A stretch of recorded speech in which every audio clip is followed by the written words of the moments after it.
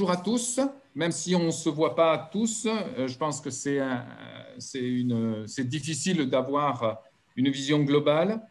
Euh, et c'est avec euh, plaisir que ce soir, la NSFA vous invite à son premier webinar. C'est à la fois un test, un essai et puis une grande chance d'organiser ce webinar. On n'a pas pu organiser le congrès l'année dernière. C'était vraiment euh, la mort dans l'âme qu'on ne l'a pas fait, mais on était un petit peu euh, bloqué par. Euh, on voulait se rencontrer on voulait se rencontrer, mais avec le Covid, ce n'était pas possible. Donc, on, fait ce webinaire parce qu'il nous a semblé que c'était extrêmement important eh bien, de vous porter, de, partager nos compétences autour du cardio-métabolique et avec la crise actuelle qui est le Covid. Donc, pour vous annoncer, faire une toute petite annonce, on est en train de prévoir un deuxième euh, euh, webinar sur la LP petit a et qui se fera probablement euh, février-mars. on est en train d'y réfléchir. Donc, le, le webinaire proposé concerne le lien entre le COVID-19 et les atteintes cardiométaboliques. Et tout d'abord, je voudrais très chaleureusement, au nom de la NSFA, remercier le professeur Karine Lacombe qui nous a fait l'honneur et le plaisir de bien vouloir modérer cette séance. Et puis, je tiens à remercier euh, aussi euh, euh, les professeurs Afid Aïtefela de Paris, du Parc, et puis les professeurs Bertrand Cariou de l'Institut de thorax de Nantes, et puis Franck Bocara, qui est le président de la NSFA et qui exerce à Paris-Saint-Antoine. Donc, chacune des présentations va durer une vingtaine de minutes. Euh, et puis ensuite, on va se donner un temps relativement court de questions. Donc, si vous avez des questions extrêmement chaudes, il faut les poser à ce moment-là. Mais sinon, on aura une période beaucoup plus longue euh, à la fin des trois présentations dans laquelle on pourra poser les autres questions un petit peu moins chaudes et surtout avoir une discussion générale sur ce sujet-là. Et tout de suite, eh bien, je donne la parole euh, au professeur Karine Lacombe pour nous faire une euh, brève introduction. Merci, professeur Karine Lacombe. Bien, merci beaucoup, monsieur Gado. Donc, j'espère que vous me voyez en grand. C'est peut-être vous qui passez les, qui nous passez euh, à l'écran, monsieur Gado eh ah, en fait, euh, c'est chacun qui fait euh, l'affichage qu'il veut et je vous propose de faire ah, dans le coin droite affichage intervenant. Je pense que c'est passer en mode écran pour pouvoir euh, avoir. très bien, très très bien. Très bien, bah, je voulais tout d'abord remercier Franck Bocara de m'avoir fait l'honneur de faire l'introduction de votre séminaire. Alors c'est vrai que vous êtes une société euh, qui vous êtes euh, rassemblée plutôt autour des sciences fondamentales, donc c'est un double honneur pour moi qui suis non pas cardiologue mais infectiologue et en plus plutôt épidémiologiste. Euh, donc, si on m'a fait l'honneur d'ouvrir votre séminaire, c'est probablement parce que depuis le début de cette crise sanitaire, euh, nous avons été beaucoup d'infectiologues à nous impliquer de façon importante dans la gestion de cette crise sanitaire, mais également dans la compréhension des mécanismes euh, déjà de l'épidémiologie de la COVID-19, mais également de euh, la clinique de la COVID-19. Et au-dessus de tout ça, qui sont vraiment des rôles de médecins, vient de la gestion et de l'impact de la société sur la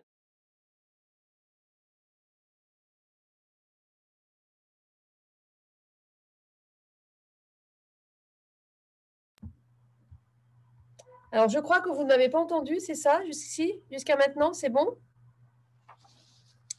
Ok, super. Euh, donc, je crois qu'on a tous été, euh, à quelques niveaux que l'on travaille, impactés par cette crise sanitaire majeure qui a démarré, je vous rappelle, pour la France en janvier, même si les premiers cas de Covid-19 ont probablement euh, été vus en France sans être diagnostiqués au mois de novembre-décembre l'année dernière. Donc, ça fait déjà 12 mois que nous baignons au quotidien dans la Covid-19. Et quand je dis que nous avons tous été impactés, c'est au point que chacun d'entre nous, quelque part, est devenu schizophrène avec une, une grande anxiété euh, vis-à-vis de la prise en charge de cette nouvelle pathologie, ce nouvel, ce nouvel agent infectieux, euh, ce débordement des hôpitaux que l'on a tous connus, en particulier en mars-avril.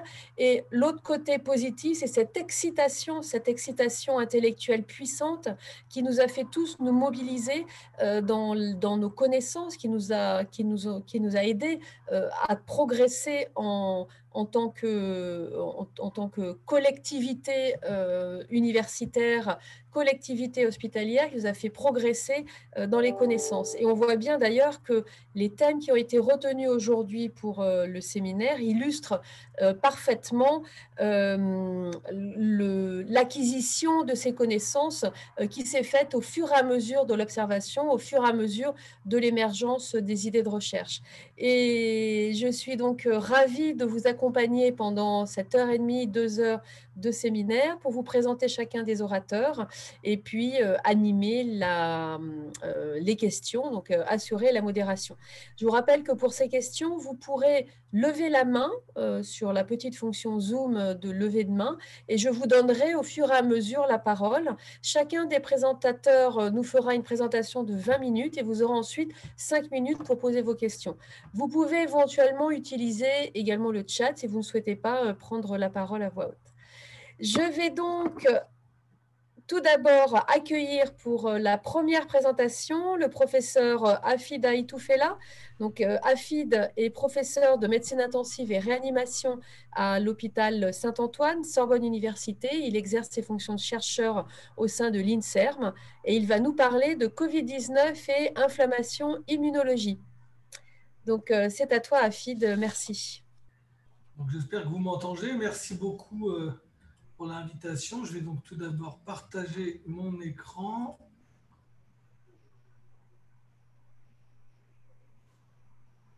C'est bon, vous voyez? Oui, c'est très bien. Donc, merci pour l'invitation. Euh, merci aux organisateurs. C'est vraiment un plaisir d'être là avec vous ce soir pour plusieurs raisons. Une des premières raisons, c'est que je suis euh, très attaché à la, à la NSFA, une société euh, savante qui, qui, relie des médecins, cliniciens et des chercheurs. Et, société vraiment avec un très bon état d'esprit qui se réunit tous les ans. Donc moi, de la même manière, j'étais un peu triste qu'on ne se voit pas euh, à l'automne en raison de cette crise sanitaire. Et je vais vous utiliser peut-être mes deux casquettes aujourd'hui, ma casquette de, cardiologue, mais surtout de réanimateur, qui a vu beaucoup de patients infectés par le Covid, et de l'autre, ma casquette de, chercheur en, immunologie dans les maladies cardiovasculaires, pour essayer de, vous parler un portrait, en tout cas, de cette réponse inflammatoire comme, on vous l'a dit, il y a beaucoup de choses qui ont été publiées. C'était assez euh, actif dans cette dernière année sur le Covid-19 avec euh, beaucoup, beaucoup de données. Je ne sais pas ce qu'on en retiendra parce que probablement que beaucoup de choses sont ou redondantes ou euh, peu relevantes, mais j'essaie de vous faire une synthèse et comment ces données peut-être permettent de nous aider d'envisager des pistes thérapeutiques. Donc, lorsqu'on parle de, de, cette infection, donc la SARS-CoV-2, la maladie étant la COVID-19, cette maladie décrite donc en, Asie, à Wuhan, il y a, une année, hein, qui a ravagé le monde. Vous avez ici son histoire naturelle avec la temporalité, et on sait que c'est une pathologie dont le tropisme est essentiellement respiratoire. Et les patients vont se présenter à l'hôpital essentiellement pour de l'essoufflement, même s'il y a des manifestations parfois neurologiques, qui peuvent, dans un certain nombre de situations, évoluer vers une atteinte lésionnelle du poumon qu'on appelle le SDRA, ou syndrome de détresse respiratoire aiguë.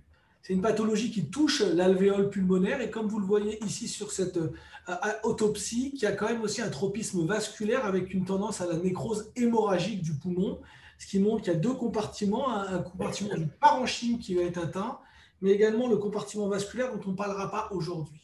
La temporalité, vous l'avez, on sait qu'il y a à peu près, euh, selon les tranches d'âge et les comorbidités, de 8 à, à 20 des patients hospitalisés. Et parmi ces patients hospitalisés, vous en avez environ 1 sur 5 qui ira en réanimation.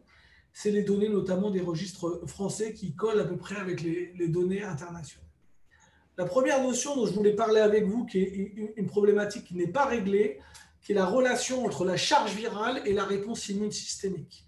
La plupart des données euh, dont on a aujourd'hui, euh, auxquelles on a accès aujourd'hui, c'est des données qui sont surtout rétrospectives associatives, donc euh, assez peu convaincante. Je vous ai mis une étude ici qui a essayé d'aller un peu plus loin sur le plan fondamental, qui est une étude autopsique avec 24 patients qui sont prélevés sur le poumon. Hein. Vous avez ce joli marquage ici en rouge de, l'ARN du virus dans les membranes. Et dans ce travail, les auteurs ont comparé la réponse immunitaire dans le poumon selon que les patients aient en rouge une charge virale élevée et en bleu une charge virale qui est peu importante. Et ce qu'on voit, qui est un peu contre-intuitif, c'est que les patients qui ont une charge virale élevée, ils ont moins de cellules inflammatoires, qu'elles soient de l'immunité innée ou adaptative, que les patients qui ont une charge virale basse. Donc c'est un peu contre-intuitif. Et lorsqu'on regarde dans le détail, et ça c'est un des éléments importants de l'analyse de cette littérature, c'est qu'il y a un facteur de confusion très important, puisque c'est la temporalité. Ici, vous avez la relation entre la charge et surtout le délai d'admission. Et ce que vous voyez en rouge, c'est que les patients à haute charge virale sont analysés dans les premiers jours, alors que les patients à charge virale basse sont analysés 20-25 jours après. Donc ce qu'on voit ici, c'est probablement pas la relation entre immunité et charge virale, c'est plutôt la relation entre histoire naturelle de la maladie et réponse immunitaire. Donc le fait que la charge virale soit associée à une réponse inflammatoire ou exagérée ou pas exagérée, et l'outcome reste encore une problématique non réglée. Et ici, euh, une autre donnée, hein, c'est une étude française entre Necker et Cochin, où de la même manière, on s'est intéressé à la relation entre charge virale et pronostic, avec trois groupes, maladies peu sévères, sévères ou des malades de réanimation. Vous voyez que lorsqu'on regarde dans le nez la charge virale nasale, pas de différence entre les groupes. Lorsqu'on regarde dans le sang, on trouve une petite tendance statistique, mais vous voyez qu'il y a un recouvrement important des données. Donc l'analyse entre la charge virale et la gravité, c'est pas facile pour plusieurs raisons. La première, c'est que ça dépend dans quel territoire on regarde. Peut-être que dans le nez, chez les malades graves, c'est peut-être pas le meilleur endroit. Peut-être que dans le poumon, c'est le meilleur endroit. Et enfin, il y a une notion temporelle. En tout cas, aujourd'hui, je vais vous parler de réponse immunitaire, essentiellement à cause de, de l'emballement médiatique et sensitif autour de cette problématique, avec un terme qui a été utilisé au début de l'épidémie, notamment à travail dans Lancet. On parle de cytokine storm, qui est d'orage cytokinique, en disant que ces patients avec une maladie potentiellement mortelle sont inondés de cytokines pro-inflammatoires. Et donc, je vais essayer de vous décrire un peu cette réponse immunitaire. Et une des premières données disponibles euh, l'année dernière, avec ce travail de, de Wu dans JCI, avec une vingtaine de malades, c'est d'analyser le profil cytokinique dans deux populations, des patients qu'on dit avec des cas peu sévères, et ici des patients dits un peu plus sévères. Et l'immense problème, c'est qu'on a du mal à avoir la photographie clinique de ces patients. En tout cas, dans cette analyse, ce qu'on voit, c'est qu'il y a quelques marqueurs un peu plus élevés comme le TNF ou l'IL6, chez les patients les plus sévères, mais attention, vous voyez que les ranges de valeurs sont peu élevées, entre 50 et 100 picogrammes MM.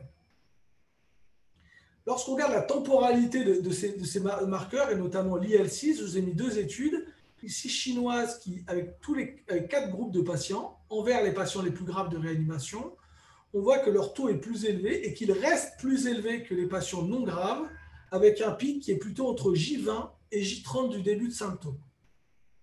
Lorsqu'on regarde à droite dans cette étude qu'on a réalisée dans plusieurs centres et que j'ai coordonné à Saint-Antoine, une centaine de patients de réanimation, on voit de la même manière a une cinétique, avec un pic, un pic entre J9 et J19 à début des symptômes, mais de façon notable, on voit que les ranges de valeurs sont différents, puisque chez les, le travail chinois, on est autour de 100, et dans notre étude, on est entre 1000 et 10 000. On peut descendre à 100, donc il y a un certain nombre de, problématiques qui sont peut-être liées au type de population étudiée et aux techniques de mesure. D'ailleurs, un certain nombre d'auteurs dans le monde se sont levés contre ce concept de cytokine storm. Et ici, une méta-analyse américaine où les auteurs ont comparé les taux de, de cytokines plasmatiques en fonction de la pathologie. Ici, je vous ai encadré trois populations. Ici, les patients de Covid, qu'ils soient graves ou non graves, des patients hospitalisés pour une infection pulmonaire ou un choc septique, et enfin, les patients qui ont un syndrome de relargage cytokinique dans le cadre des traitements par les CAR-T-cells. Et les auteurs disent, regardez, les taux chez les infections à Covid sont basses, beaucoup plus basses que dans le SDRA ou dans les infections à CAR-T-cells. Donc attention, quand vous utilisez ce terme d'orage cytokinique, il n'y a peut-être pas d'orage cytokinique. Lorsqu'on regarde les déterminants, euh, en tout cas euh, à l'état individuel de ces taux plasmatiques cytokiniques dans les populations, Ici, une étude multicentrique, mais faite à New York avec plus de 1000 patients. On se concentre sur l'IL6. Vous voyez que le genre a, une importance puisque les hommes ont un taux plus élevé d'IL6 que les femmes, et on retrouve ça dans les études épidémiologiques. Hein. Il y a à peu près 60 à 70% d'hommes pour 30% euh, de femmes.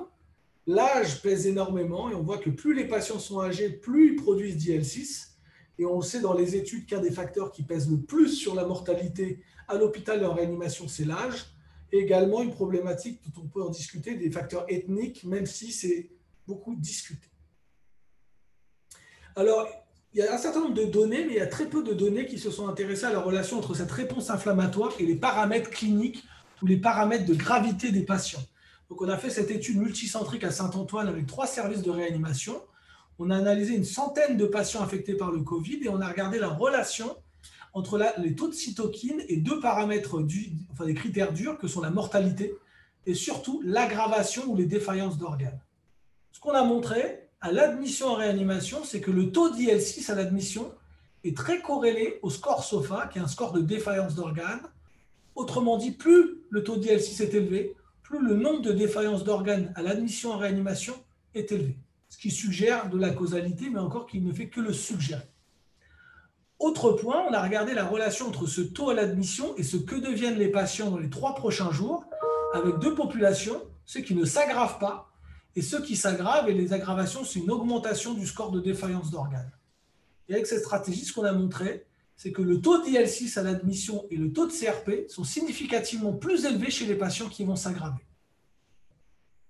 Cette trajectoire et cette évolution est également importante puisqu'on a regardé ces taux plasmatiques entre J0 et J3 en fonction du pronostic des patients vivants ou décédés à 60 jours. Et ce qu'on voit, c'est que la cinétique de la CRP est également instructive, puisque la CRP a tendance à monter chez ceux qui vont mourir.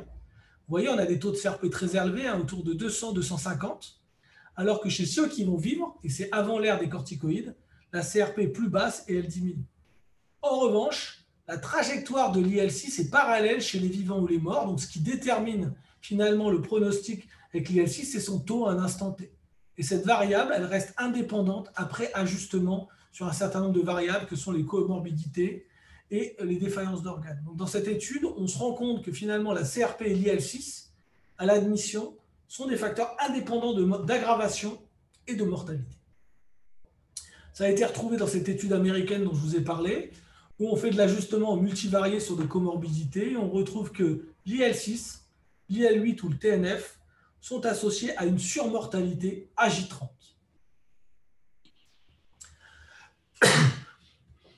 Une autre cytokine qui a fait beaucoup parler d'elle, c'est l'interféron, et l'interféron de type 1 alpha.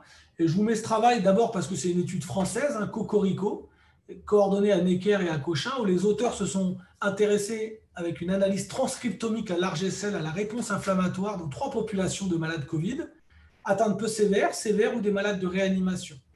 On a au moins une photographie des patients, puisqu'on voit qu'il y a une augmentation dans les groupes de l'oxygène, voire la ventilation mécanique tout comme une augmentation de l'atteinte pulmonaire. Donc on a trois, trois groupes bien caractérisés. Et dans ce travail, c'est une analyse d'ARN dans le sang avec une analyse bioinformatique où on voit un clustering différent. Et ce qui apparaît, c'est qu'il y a des signatures différentes selon la sévérité de la maladie. On a un enrichissement ici des voies pro-inflammatoires, des réponses de l'immunité type TLR ou encore euh, interféron. Et ici, on voit clairement un enrichissement dès qu'il y a une maladie, après on peut discuter sur la sévérité, des réponses de l'interféron de type 1 et de type 2. Alors ces auteurs hein, ont mis en avant le fait qu'il y a une diminution de la réponse interféron chez les patients infectés par le Covid et qu'elle est d'autant plus importante que les patients sont sévères. Vous avez ici un dosage de l'interféron avec des quantités, vous voyez, qui sont infinitésimales en femtogrammes. Et on voit ici que plus ils sont sévères, en tout cas c'est ce que suggèrent les auteurs, plus l'interféron est bas, après, quand vous regardez la répartition des valeurs, vous voyez bien qu'il y a un overlap extrêmement important des valeurs. Et moi, quand je vois ces résultats, je ne suis pas convaincu par le fait qu'il y ait une relation entre le taux et la sévérité. Et cet effet persiste au cours du temps. D'autres auteurs ont, rapporté cette diminution d'interféron, mais en réalité, probablement qu'elle n'est pas spécifique de l'interféron, elle est liée à toutes les productions cytokiniques. Hein. Ici, un travail, on isole les cellules dendritiques plasmatiques on les stimule avec un cocktail viral pour mimer l'infection et on regarde en fax, en cytométrie en flux, la production intracellulaire ici d'interférons ou de TNF. Et ce qu'on voit, c'est qu'il y a bien une diminution chez les patients infectés d'interféron, de TNF ou de ces deux médiateurs. Donc il y a une espèce d'énergie qu'ont confirmé d'autres auteurs. Donc il existe au cours de l'infection à Covid une diminution de l'interféron. Ici, c'est du side sec dans des cellules du sang. Donc on regarde l'expression de l'ARN messager d'interféron et vous voyez qu'on en voit très peu. En revanche, qu'est-ce qu'on voit? Ça s'allume en rouge. On voit les signalisations en aval. Donc probablement que ce qu'on voit, ce n'est pas le fait qu'il n'y ait pas d'interféron, c'est qu'on est à distance d'une signature interféron et qu'on on a un temps plus tardif et qu'on voit la signature en aval. Et d'ailleurs, c'est ce qu'ont modélisé ces auteurs. Ils ont montré que la production d'interféron alpha, elle varie au cours du temps. Si vous voyez les patients à un, temps très court, vous avez une augmentation. Et ensuite, vous avez une diminution. Et donc, vous avez une activation des voies intracellulaires. Donc, attention au message délivré. Peut-être que quand l'interféron est diminué, c'est simplement qu'on est à distance du pic d'interféron. Parmi les populations étudiées dans le sang, une des premières à être identifiée comme diminuée, ce sont les lymphocytes T, dans ce travail de Jesse et toutes les populations T ici en bleu sont diminuées chez les patients affectés par le Covid, surtout dans les formes ici modérées, les CD4, les CD8, et euh, en revanche, les B ne sont pas touchés.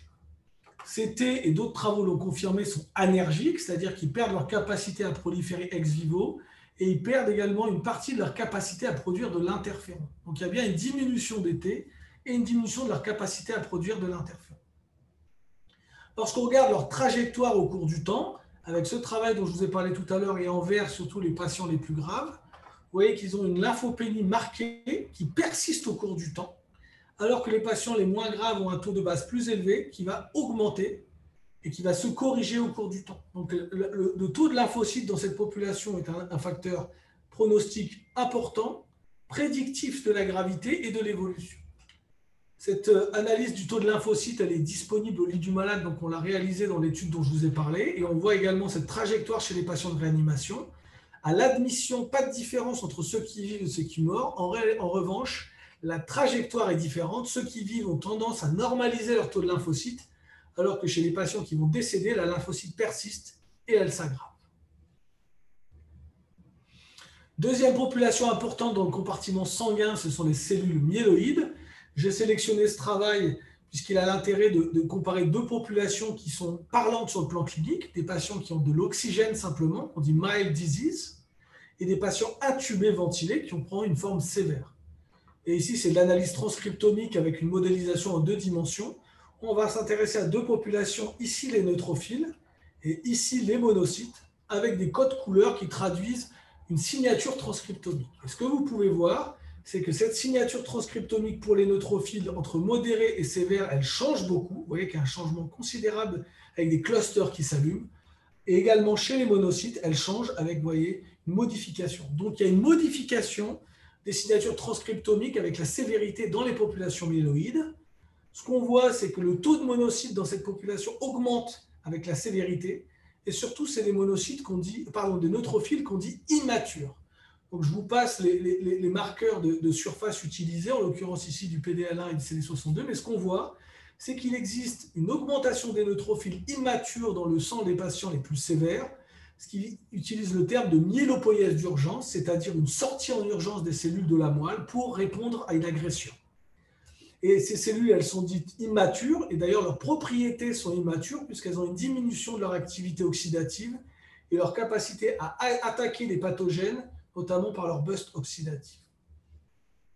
À côté de, ces, cellules myéloïdes, donc il y a les monocytes. Ce qu'on sait également, c'est que le comportement monocytaire va être altéré avec une diminution des monocytes qu'on dit non classiques et une augmentation de ces monocytes classiques chez les patients les plus sévères et les auteurs de ce travail, qui est un travail français, hein, euh, suggèrent qu'il y a une protéine qui s'appelle la calprotectine, qui est produite en partie par les cellules myéloïdes, qui pourrait être une cible intéressante puisque son taux augmente chez les patients les plus sévères. Encore une fois, ça reste très associatif. Le compartiment sanguin a été beaucoup utilisé pour sa facilité. Il y a également quelques travaux qui ont été réalisés dans le poumon euh, ici un travail sur le lavage bronchio-alvéolaire chez les patients de réanimation avec une approche de single cell RNA sequencing, où ce qu'on voit, c'est la population la plus modulée sur les macrophages, avec différents clusters de macrophages. Et dans ce travail, les auteurs ont montré que au cours de la sévérité, c'est les malades de gauche à droite, c'est la sévérité qui augmente, Ce sont les groupes 2 et 3 qui augmentent de macrophages. C'est des macrophages avec une signature beaucoup plus pro-inflammatoire, suggérant que dans les malades les plus sévères, il existe un reprogramming des macrophages vers un profil pro-inflammatoire pathogène. Ceci s'accompagne d'une augmentation dans le tissu pulmonaire de, cytokines pro-inflammatoires. Ici, en fonction de la sévérité, le taux de trois cytokines avec un code couleur, IL6, IL8, IL1 bêta, voyez, qui augmente chez les patients les plus sévères, associé ici à une augmentation de certaines chimiokines chémoattractantes qui vont participer à recruter les cellules inflammatoires dans le poumon et potentiellement aggraver les lésions locales. Donc, si on doit synthétiser, parce que des travaux, il y en a beaucoup sur le sujet, il existe au cours des infections à SARS-CoV-2, au cours de la COVID-19, un certain nombre de données issues de l'analyse du sang qui montrent une diminution d'un certain nombre de populations. On a dit les lymphocytes T, les cellules dendritiques, qu'elles soient plasmidoïdes ou myéloïdes, euh, les monocytes classiques, et également une augmentation de, de, certaines populations comme les neutrophiles immatures. Les lymphocytes B, leur poule n'est pas altérée, et la réponse anticorps, je n'ai pas le temps de vous le montrer aujourd'hui, semble précoce et maintenue au cours du temps. Un point à noter, c'est que ces profils finalement qu'on décrit dans l'infection à SARS-CoV-2 sont en tout point comparables aux profils qu'on décrit soit en réanimation chez les malades qui ont une infection grave, soit en réanimation d'une manière plus générale chez les patients qui ont une agression aiguë, qu'elle soit septique ou non septique. Donc finalement, en regardant toute cette littérature, ce qu'on découvre, c'est qu'elle n'est probablement pas spécifique de l'infection à SARS-CoV-2. Donc à partir du moment où on a identifié ces, réponses pro-inflammatoires et qu'on a voulu aller vite pour essayer d'avoir des options thérapeutiques, un certain nombre de personnes dans le monde, et notamment en France, hein, il faut les féliciter, ont essayé d'imaginer des approches thérapeutiques bloquant l'inflammation, dont vous avez ici une liste. Et moi, j'ai choisi de vous parler de deux exemples aujourd'hui. Le premier exemple, qui est une success story, c'est l'effet des corticoïdes, avec euh, du groupe Recovery, qui est cette étude anglaise, qui a montré que la dexaméthasone, administré précocement chez les patients hospitalisés, clairement avait un effet bénéfique chez les patients sous oxygène seul et chez les patients intubés ventilés, avec un effet d'autant plus important que la sévérité notable. Alors, une des questions qui n'est pas réglée, c'est de savoir est-ce que c'est un effet classe ou si c'est un effet molécule. On attend quand même un certain nombre d'études pour confirmer ce, travail, mais je vous ai mis ici une analyse, encore une fois, euh, bioinformatique des données américaines qui ont analysé la trajectoire de l'IL6 selon que les patients aient reçu trois des corticoïdes, mais vous voyez trois différents corticoïdes. Et ce qui est notable ici en rouge chez les patients qui ont reçu les corticoïdes, c'est que l'effet est beaucoup plus notable avec la dexaméthasone qu'avec le, le ou la prednisone. Donc, est-ce que c'est vraiment un effet de classe ou un effet de molécule? C'est une, affaire qu'il faut continuer à suivre. L'autre molécule qui a vraiment euh, suscité beaucoup d'intérêt, c'est le tocilizumab, qui est l'anti-L6 récepteur, qui a été utilisé dans plusieurs études en France, en Europe et dans le monde, et malheureusement qui a apporté des résultats globalement négatifs. Ici, je vous ai mis une étude américaine où on inclut des patients qui sont des patients avec des critères cliniques, des critères biologiques, dont la CRP comme un marqueur d'inflammation, et une oxygénothérapie modérée, mais vous voyez dans cette étude, on exclut les patients les plus graves.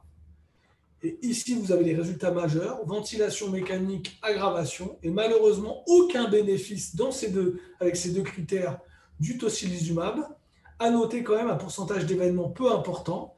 Et donc peut-être qu'on a ciblé une population peut-être pas assez grave. Ici, une deuxième étude italienne, publiée dans JAMA Internal Medicine, où on, pareil, on prend des patients infectés par le Covid avec des critères cliniques, des critères d'inflammation et enfin, une atteinte pulmonaire peu sévère, parce que 200 à 300 de P sur F, c'est une atteinte peu sévère. Deux groupes de 60 malades, et vous avez ici le cartoon représentant absence de bénéfice sur l'aggravation des malades. Donc pour conclure, on peut discuter sur pourquoi est-ce que ça, ces, molécules ne marchent pas. Est-ce que c'est lié au problème de, gravité? Est-ce qu'on a inclus peut-être des patients pas assez graves?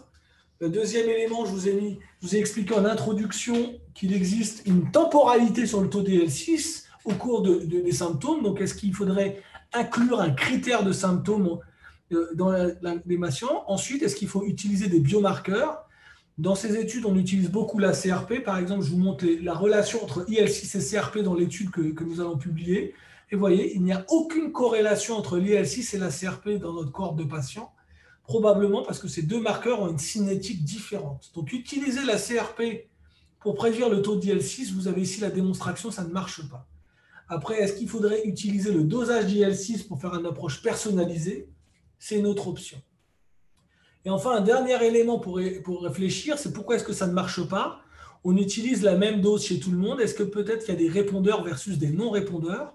Et pour essayer d'approcher cette question, on a fait une étude où on a pris dans notre centre des patients avant leur admission en réanimation qui avaient reçu à titre compassionnel du tocilizumab et on les a matchés sur la morbidité et la gravité en 2 sur 1 avec des patients de réanimation qui n'avaient pas reçu le tocilizumab. Ici, un tableau indigeste pour vous dire que quand on les a matchés, ces deux cohortes sont parfaitement superposables. Et on a regardé leur trajectoire inflammatoire en réanimation. Ici, leur profil inflammatoire avec ici en blanc les patients contrôle, en noir traités par tocilizumab avec intuitivement la réponse, c'est-à-dire que ceux recevant un anti-L6 récepteur ou plus d'IL6, ça persiste au cours du temps, et leur CRP diminue lorsqu'ils ont reçu du tocilizumab. Jusque-là, ce n'est pas surprenant. Et ce qui est plus intéressant, c'est de regarder leur trajectoire en fonction de leur pronostic, avec ici, chez ceux qui ont reçu du tocilizumab, les survivants, et ici, les décédés. Et vous voyez, les patients qui vont survivre lorsqu'ils reçoivent du tocilizumab très très vite, ils vont effondrer leur CRP, comme s'ils répondaient en termes d'inflammation systémique à la CRP. En revanche, ceux qui décèdent ne répondent pas, puisque vous voyez que leur taux de CRP ne baisse pas, comme si finalement ils n'étaient pas répondeurs. Donc en conclusion, j'espère que je n'ai pas dépassé le temps. Il existe au cours du Covid une réponse inflammatoire systémique marquée qui varie au cours du temps et qui est probablement compartimentalisée. Elle touche toutes les populations, T, B, neutrophile, monocytes, avec un phénomène d'apoptose et également d'énergie cellulaire, leurs fonctions sont altérées et une myélopoïèse d'urgence.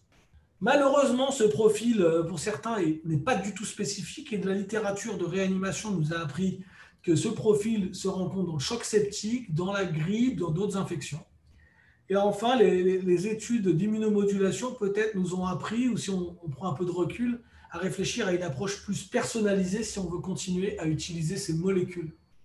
Merci de votre attention. Merci beaucoup. Je, tu vas donc pouvoir départager voilà, ton écran euh, de façon à ce qu'on puisse euh, répondre aux questions. Alors, je ne sais pas, je ne vois personne euh, qui a demandé à prendre la parole. Qui souhaiterait poser des questions sur la présentation d'Afid?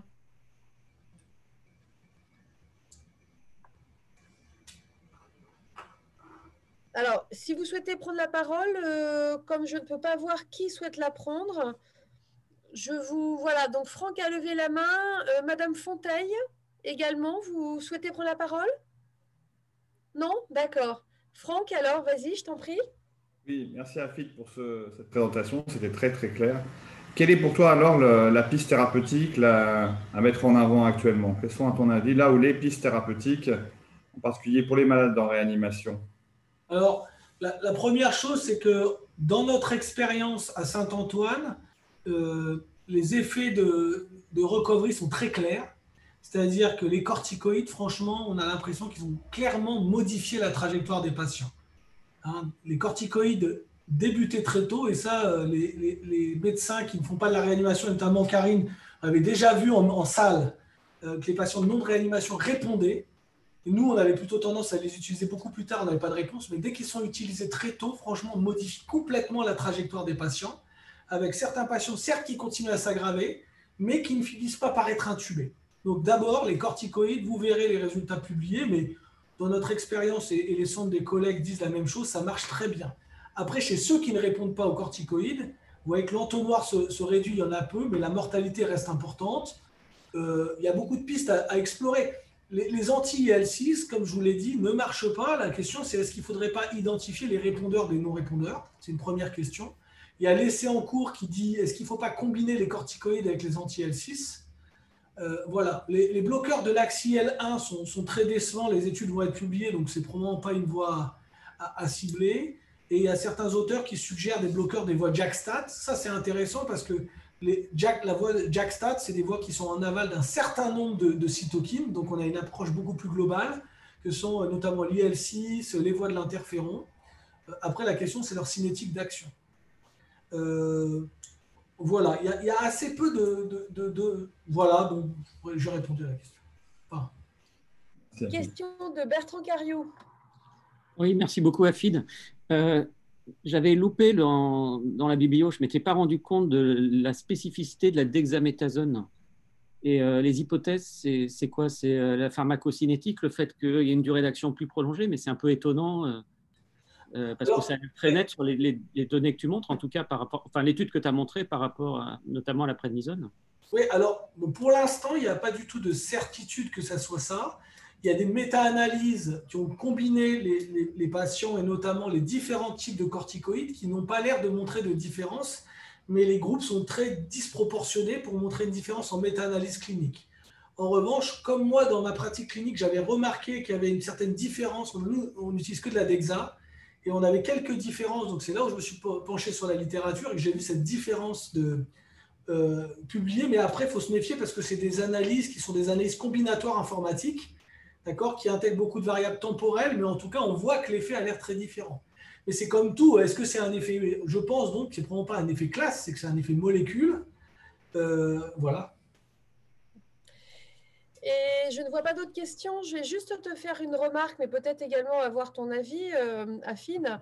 Euh, en fait, tu n'as pas rapporté la méta-analyse qui vient d'être publiée dans CMI euh, sur l'efficacité du tocilizumab. Euh, je pense que la question de son efficacité n'est pas complètement répondue. ça reste encore ouvert à mon avis dans cette méta-analyse qui regroupe tous les gros essais cliniques randomisés comme euh, Impacta, euh, Covacta, euh, le petit essai français, l'essai italien et un troisième essai, un cinquième essai américain. Effectivement, il n'y a pas d'efficacité sur la mortalité, mais malgré tout, chez les patients qui sont en salle de médecine sous oxygène, il y a une diminution du risque de passer en ventilation mécanique. Et le seul effet positif que l'on trouve euh, du tocilizumab sur la mortalité, c'est dans, la, partie méta-analyse sur les cohortes rétrospectives. Donc probablement qu'il y a un lien important avec euh, le timing, c'est-à-dire le, plus que le fait de faire euh, une ou deux injections, c'est vraiment le moment où on va faire ces injections. Je ne sais pas ce que tu en penses. Oui, merci pour la question. Donc, c'est ce que j'ai écrit hein, tout à l'heure. Hein. J'ai dit, euh, parmi les, questions, c'est quand, pour qui, et la trajectoire du taux d'ILC, c'est très importante. Encore, nous, ce qu'on avait montré, c'est que effectivement, il y a un moment où il y a un pic d'ILC, et c'est peut-être à ce moment-là où il faut être actif. Comme tout, ça veut dire que si on le traite chez les patients les plus sévères, on a beaucoup de chances que ça ne marche pas. Si on le fait chez les gens pas graves, ben, on ne montrera pas de différence parce qu'ils ne sont pas assez graves pour aller en réanimation. Donc le problème, c'est le timing. Après, quand même, aujourd'hui, il y a beaucoup d'hôpitaux où on peut avoir accès au dosage très facile de l'IL6. Donc pourquoi pas essayer de, personnaliser avec le taux de plasmatique d'IL6.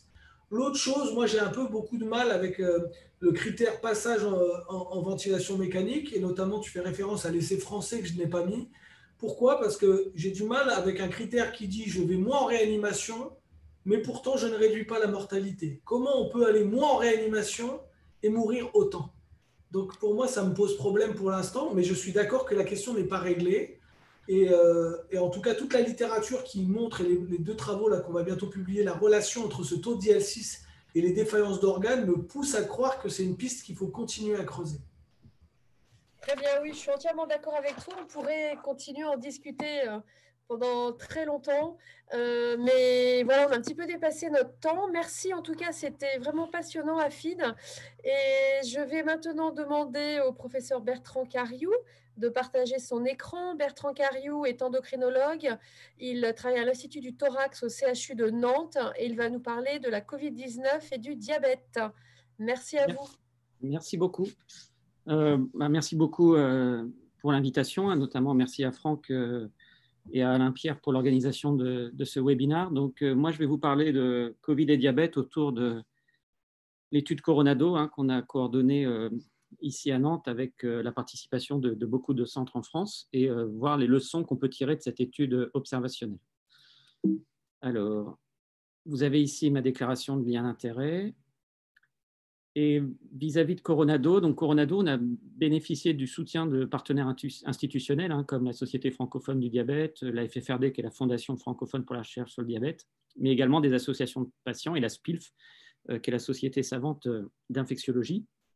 On a eu également un support financier via le fonds de dotation du CHU de Nantes, mais en aucun cas, ces financeurs n'ont joué un rôle dans la conduite de l'essai, et ça a été surtout pour soutenir l'initiative Coronado, mais il faut insister sur le fait qu'au début et au départ, la majorité et l'ensemble, tous les centres ont travaillé de façon pro bono, c'est-à-dire bénévole.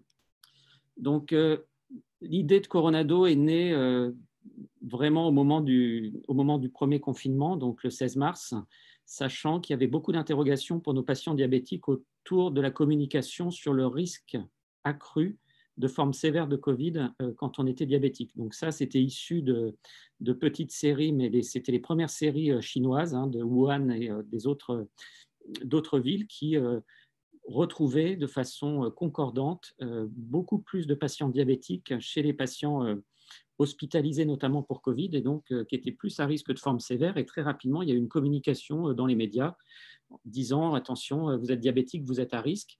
Le problème, c'est qu'on n'avait aucune notion sur les caractéristiques phénotypiques de ces patients diabétiques.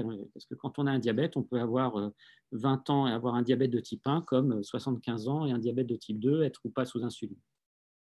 Donc finalement, la, question, elle est euh, maintenant bien établie, hein, que le diabète est un facteur de risque de la sévérité de la COVID-19. Je vous ai mis ici une première méta-analyse où vous voyez globalement qu'on a deux fois plus de risques de forme sévère, alors avec des, euh, définitions qui sont variables. Hein. ça peut être euh, le recours à une intubation, à une admission en réanimation et bien entendu le décès.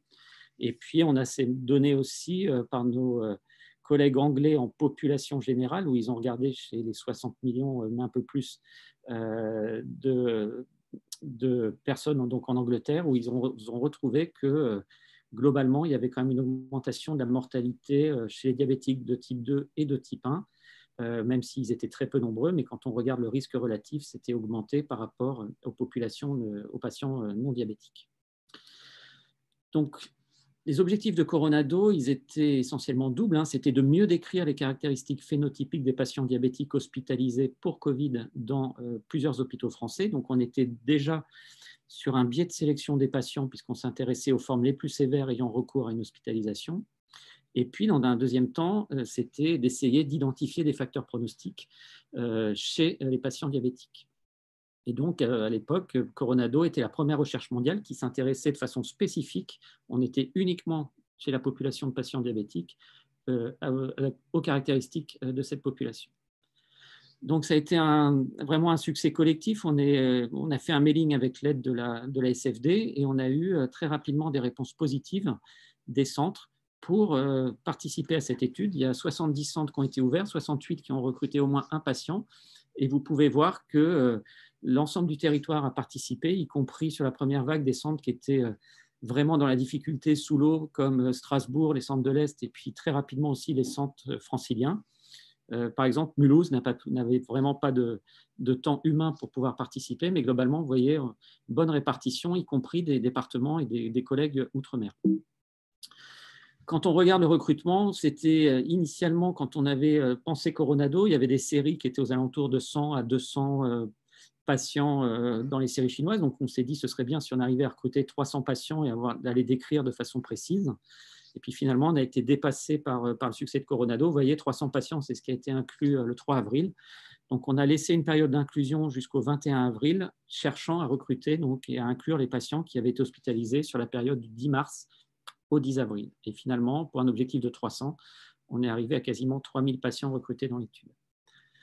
Euh, et donc, il y a eu des centres. Hein. J'ai vu que notamment nos collègues marseillais étaient là, Bénédicte Gabory notamment. Donc, Marseille a été le premier centre recruteur et puis des gros centres euh, également euh, à Paris et notamment à Saint-Antoine avec Camille Vatier qui a énormément participé à l'étude.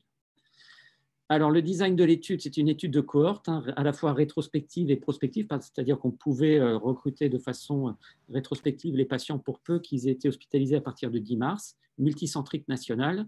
Et donc l'idée, c'était de ne pas surcharger euh, euh, les services euh, finalement de première ligne, que ce soit en infectiologie ou en réanimation. Il y avait déjà énormément d'essais en cours. Et donc c'était de faire un screening via les données informatisées et d'aller chercher ces caractéristiques phénotypiques grâce notamment au travail des attachés de recherche clinique dans l'ensemble des services. Donc la population, c'était un screening consécutif à partir des cas Covid, hein, qui était assez rapidement identifié dans les, dans les hôpitaux. Hein. Il y avait un décompte Covid euh, dans chacun des hôpitaux, dans chaque, chaque hôpital en France, pardon. Donc, il fallait que les adultes soient hospitalisés euh, pour une prise en charge de Covid-19 et la majorité avait un test PCR positif, hein, plus de 95%, et qu'ils aient un diabète connu sur les antécédents et, et, ou une notion de traitement antidiabétique. Et puis, on s'intéressait aussi au diabète diagnostiqué lors de l'hospitalisation avec une hémoglobine glyquée supérieure à 6,5. Euh, donc c'était une étude euh, assez large, hein. il y avait très peu de critères euh, d'exclusion, c'était uniquement les femmes enceintes ou les patients sous mesure de protection, et on a recruté, je vous l'ai déjà dit, les patients entre le 10 mars et le 10 avril. Donc c'est une étude où on a eu un accord très rapide de la CNIL, donc il y a pu y avoir une réactivité à ce niveau-là. On a eu moins de 15 jours entre l'écriture du protocole et la première inclusion. Donc, les données étaient collectées par les équipes locales, hein, que ce soit les attachés de recherche clinique, euh, les paramédicaux ou dans certains hôpitaux généraux, c'était les médecins qui se connectaient le soir chez eux pour rentrer et compléter les CRF. Les sources, c'était le dossier patient informatisé, les équipes associées à la prise en charge, et puis euh, les attachés de recherche ont également contacté les médecins et laboratoires de ville pour récupérer des biologies ou les pharmaciens pour récupérer des traitements.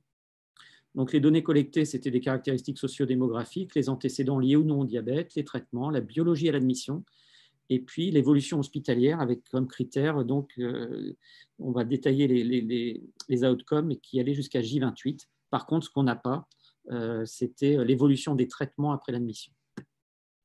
Donc notre critère de jugement principal, et je rejoins ce que vient de dire Afid, hein, c'est un critère qui est compliqué puisque c'est un critère composite d'intubation, donc euh, hospitalisation en réanimation pour être intubé, et ou le décès. Et on voit qu'on a euh, des populations qui sont différentes. Les patients qui sont intubés sont globalement plus jeunes, les patients qui décèdent sont globalement euh, plus âgés et ne sont pas tous passés par la case réanimation. Donc finalement, un critère probablement le plus robuste sur la sévérité, c'est le décès. Donc on a regardé de façon isolée comme l'intubation, et puis également la, sortie, la sortie en vie, c'est-à-dire retour à domicile ou transfert.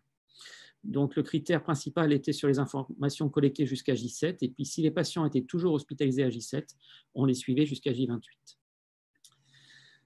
Euh, vous avez ici les, méthodes statistiques, hein, c'est une étude descriptive, donc rien de particulier. Puis on a essayé de faire des analyses de régression euh, logistique multiples tout en essayant de respecter un événement par variable. On n'a pas essayé de mettre toutes les variables du monde. On avait euh, à chaque fois un événement par variable supérieur à 10. C'est-à-dire que si on avait 3000 patients, on essayait d'avoir pas plus de 20 ou 30 items dans, dans l'analyse multivariée. Et on n'a pas fait d'imputation. Donc, euh, on a publié rapidement un premier papier, notamment pour euh, avoir un retour vis-à-vis des patients sur euh, la population diabétique à risque. Hein. C'était un papier sur une partie de la population, 1300 patients à J7, mais je vais vous présenter aujourd'hui les données de l'étude complète à J28 sur l'ensemble de la cohorte. Donc, ce papier online dans Diabetologia et euh, devrait euh, être sur PubMed, je pense, euh, cette semaine ou au plus tard en début de semaine prochaine. Donc, vous avez ici le flowchart de l'étude de 1951 patients. Quand on regarde un petit peu les, erreurs d'inclusion, on arrive à 2854. Et quand on regarde les données analysables, notamment sur les critères d'événements, on arrive à 2800 patients. Et vous allez voir un petit peu l'évolution des outcomes.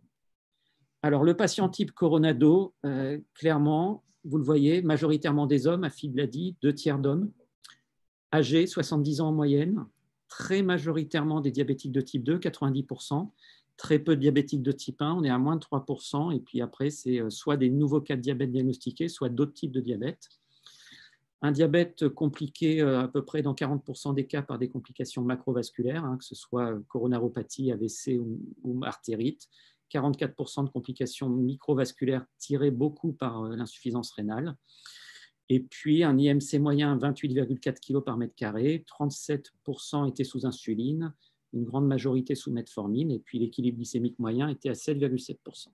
Donc déjà, on pouvait un peu euh, dire à nos patients, euh, si vous êtes diabétique de type 1 de 25 ans sans complications, ben vous êtes quand même moins à risque que si vous avez 80 ans avec un diabète de type 2 avec des complications microvasculaires. Alors, vous avez ici l'évolution des, événements euh, au cours du suivi. Vous voyez hein, la sévérité de la maladie. On a quand même 11,2% de décès à J7, on a 20,6% de décès à J28. Donc, on a un patient sur cinq diabétique hospitalisé lors de la première vague en France qui est décédé à J28. 50% à l'inverse ont pu rentrer à domicile ou en EHPAD, et puis 12% étaient encore hospitalisés et 17% euh, étaient transférés dans un service de réadaptation. Donc après, quand on regarde les, caractéristiques des patients selon, en analyse univariée, simplement ajustée sur l'âge, sur les, caractéristiques, qu'est-ce qu'on peut voir brièvement? Que le, sexe féminin est plutôt euh, protecteur. Et là, il y a un papier qui va être envoyé, euh, notamment, donc c'est Pierre Gourdy euh, qui coordonne l'écriture de ce papier sur l'effet du sexe sur le pronostic de la COVID chez les patients diabétiques. Évidemment, vous avez l'IMC, donc avec même quand on avait un ajustement sur l'âge, vous voyez que les patients qui ont eu le critère principal et notamment l'intubation avaient un IMC plus important, 29,1 versus 28,1 chez ceux qui n'avaient pas euh, de sévérité de la maladie. On a été surpris comme diabétologue de voir qu'il n'y avait pas d'effet de l'équilibre glycémique, notamment l'hémoglobine glyquée, pas de différence et ça s'est confirmé. Quand on regarde les comorbidités, on retrouve plus d'hypertension artérielle euh, associée à la sévérité, plus d'apnée du sommeil appariée également. Et puis les traitements, j'y reviendrai à la fin, donc je vais aller assez vite. Il y avait un petit signal sur les inhibiteurs calciques, mais euh, qu'on retrouve moins facilement en analyse, euh, notamment sur la mortalité en multivariate. Et plutôt un effet protecteur des anticoagulants. Et donc là, il y a des travaux pour voir aussi le lien avec l'infection par Covid et notamment les, coagulopathies et les maladies thromboemboliques. Alors, quand on regarde la biologie, là, c'est un petit peu plus net. On retrouve le caractère pronostic péjoratif d'une hyperglycémie. Donc, autant l'équilibre glycémique chronique ne semble pas associé au pronostic, même s'il euh, y a un biais, hein, puisqu'on est sur les formes sévères et que euh, le niveau d'HB1C des patients dans Coronado est quand même plus élevé que euh, le niveau d'HB1C qu'on retrouve dans la population diabétique générale selon l'étude Entraide. On est plutôt à 7,1% quand on regarde les données d'Entraide et on était à 7,7% dans Coronado. Donc c'est possible et les données anglaise en population générale suggère quand même que le déséquilibre glycémique peut favoriser l'infection par Covid, mais en tout cas, on n'a pas retrouvé de lien avec les formes sévères dans Coronado. Inversement, donc l'hyperglycémie, alors est-ce que c'est une hyperglycémie de stress euh, en raison de l'infection sévère? Et ce sera intéressant de regarder si euh, l'amélioration de la glycémie est corrélée au pronostic. Donc ça, ce sera des choses notamment à faire avec euh, nos collègues réanimateurs. On retrouve également euh, que les formes sévères avaient une fonction rénale plus altérée, hein, un EGFR que vous voyez ici qui est diminué. Et puis, on retrouve, euh, ça a été dit par AFID, une lymphopénie, une thrombopénie qui sont associées à une forme sévère, et puis des marqueurs inflammatoires comme la CRP ou les transaminases. Alors, quand on fait une analyse multivariée, je vous, conseille de, vous propose de regarder plutôt la partie droite de l'écran sur l'analyse multivariée après régression pas à pas les éléments qui résistent sur le critère principal à J7, dont je vous rappelle, hein, intubation, mortalité, c'était l'obésité avec l'IMC, c'était euh, les inhibiteurs calciques, la Disney, qui témoigne de la sévérité à l'admission, et puis euh, des marqueurs tels que les transaminases, la lymphocytose, euh, la thrombopénie et une CRP élevée. Alors, je pense que c'est plus intéressant, peut-être pas plus intéressant, mais en tout cas plus facile à interpréter de regarder un critère encore plus dur qui est la mortalité à J28. Et donc là, ça résume. Je vous ai mis les critères qui étaient euh, péjorativement associés donc au risque de décès, l'âge, donc vous avez un autre ratio 1,85, et la présence de complications microvasculaires, donc euh, insuffisance rénale ou euh, rétinopathie. On avait retrouvé, j'y reviendrai, un effet protecteur de la prise de metformine avant l'admission, un effet euh, délétère de l'insulinothérapie, mais qui témoigne là encore très vraisemblablement euh, de patients qui sont plus euh, sévères, avec une durée de diabète plus importante, des complications. Donc c'est plutôt un marqueur de sévérité, même si, comme on n'est pas dans une, on est dans une étude observationnelle, on n'arrive pas forcément à capturer tous les biais de sélection. Donc je pense que c'est un biais de sélection pour l'insuline. Un effet également délétère, j'y reviendrai, des statines une durée d'admission qui est, euh, plus vous avez une durée d'admission courte, euh, plus un délai, d'apparition euh, des symptômes entre le, moment où les symptômes apparaissent et le moment où vous êtes hospitalisé, plus ce délai est court, plus cela témoigne d'une forme sévère de la maladie. La présence d'une dyspnée, on retrouve des marqueurs inflammatoires comme les azates élevés, l'hyperleucocytose, la thrombopénie et la CRP. Quand on regarde à l'inverse euh, ce qui favorise le retour à domicile, eh ben, on a été extrêmement rassuré de voir que c'est à l'inverse des facteurs prédictifs de mortalité. Donc, euh, le pronostic est meilleur chez les femmes, chez les patients diabétiques sous metformine, quand euh, il y a une plus longue durée entre le début des symptômes et l'hospitalisation. Et puis, par contre, les patients âgés ben, rentrent moins fréquemment à domicile et on retrouve les facteurs associés à la mortalité, complications microvasculaires, et puis notamment les marqueurs inflammatoires et la. Alors, si on résume les principaux résultats, sur le pronostic AJ28, 50% de retour à domicile, 20% de décès, 12% de patients encore hospitalisés. Des facteurs péjoratifs communs au décès et au retour à domicile, hein, l'âge, toujours l'âge, la microangiopathie, la dyspnée, les azates élevés, les leucocytes et la CRP élevée. Et à l'inverse, les facteurs amélioratifs communs au décès et au retour à domicile, c'est le traitement par metformine et euh, une ancienneté des symptômes. Et encore une fois, pas de rôle pronostic marqué de l'hémoglobine glyquée témoignant de l'équilibre glycémique dans Coronado. Alors, bien sûr, hein, Coronado a des limites. On est euh, sur des limites de temporalité. On est sur la première vague, hein, uniquement sur l'activité hospitalière entre mars et avril 2020. Sur la qualité des données, donc on avait, euh, même si le CRF était standardisé, euh, il n'y a, pas eu d'approche standardisée pour le recueil des antécédents. C'était ce qu'il y avait dans les dossiers informatisés, donc avec un biais de suivi. Et puis pour les événements, autant pour J7, on a, on a recontacté les patients qui étaient sortis avant J7 pour voir s'ils étaient toujours vivants. On n'a pas pu le faire pour les patients entre J7 ou J28. Et donc, c'est une étude observationnelle hospitalière. Pas d'informations sur le pronostic en ambulatoire. On ne peut pas dire euh, que c'est représentatif des patients diabétiques, euh, notamment non hospitalisés. On a une analyse limitée de l'efficacité des traitements, notamment euh, est-ce que les patients qui ont eu de la dexaméthasone ont eu un pronostic différent. On n'a pas capturé on, a l'information, mais on n'a pas encore complètement analysé. Et on n'a pas de comparaison pour l'instant avec une population non diabétique, j'y reviendrai. Alors, traitement, simplement, on a regardé en utilisant cette fois des, analyses par score de propension euh, pour essayer justement d'éviter au maximum les, biais de comparaison. Euh, on a regardé pour les statines, puisqu'il y avait un papier dans Cell Métabolisme et d'autres papiers qui suggéraient que les statines pouvaient avoir un effet bénéfique, euh, notamment sur le pronostic de la COVID. Euh, sachant que c'était pour une des études des statines mis après l'admission et que nous, on était sur euh, les antécédents de, prise de statine qui étaient prises euh, dans le traitement chronique. Et globalement, même après score de propension, on retrouve un, un sur-risque qui témoigne, à mon avis, là encore, de la sévérité, puisque les patients sous statine sont les diabétiques les plus compliqués. Les inhibiteurs de la DPP4, on a regardé puisqu'il y avait un lien potentiel euh, avec la DPP4 comme étant un, récepteur pour le SARS-CoV-2 et on a trouvé euh, alors la diminution de la mortalité euh, à J28. On a refait des analyses au cours de la deuxième ronde de review, notamment il y avait ce qu'on perdait de la puissance quand on faisait des analyses avec des scores de propension. Donc on a fait des imputations et on perd la significativité. Donc on a une neutralité, il y avait un petit signal en faveur de la mortalité qu'on n'a pas retrouvé, donc le message c'est que c'est neutre. Donc par contre, euh, il y a plusieurs données concordantes, dont Coronado, qui suggèrent que la prise de metformine avant l'admission pourrait être euh, bénéfique. vous avez ici les courbes de survie euh, Kaplan-Meier et vous voyez qu'en non ajusté, on a une meilleure finalement survie chez les patients traités par metformine avant l'admission versus ceux qui n'avaient pas de metformine. Et quand on fait une analyse par score de propension, donc l'idée c'est que vous voyez ici euh, les patients, bien entendu, qui sont euh, sous metformine, ils ont une meilleure fonction rénale, ils sont moins âgés, ils ont moins fréquemment de l'insuline. Et donc l'idée après, avec le score de propension, c'est de remettre euh, toutes ces différences sur la même ligne et avoir des populations comparables. Donc on perd de la population, on perd de la puissance, mais on compare deux groupes identiques.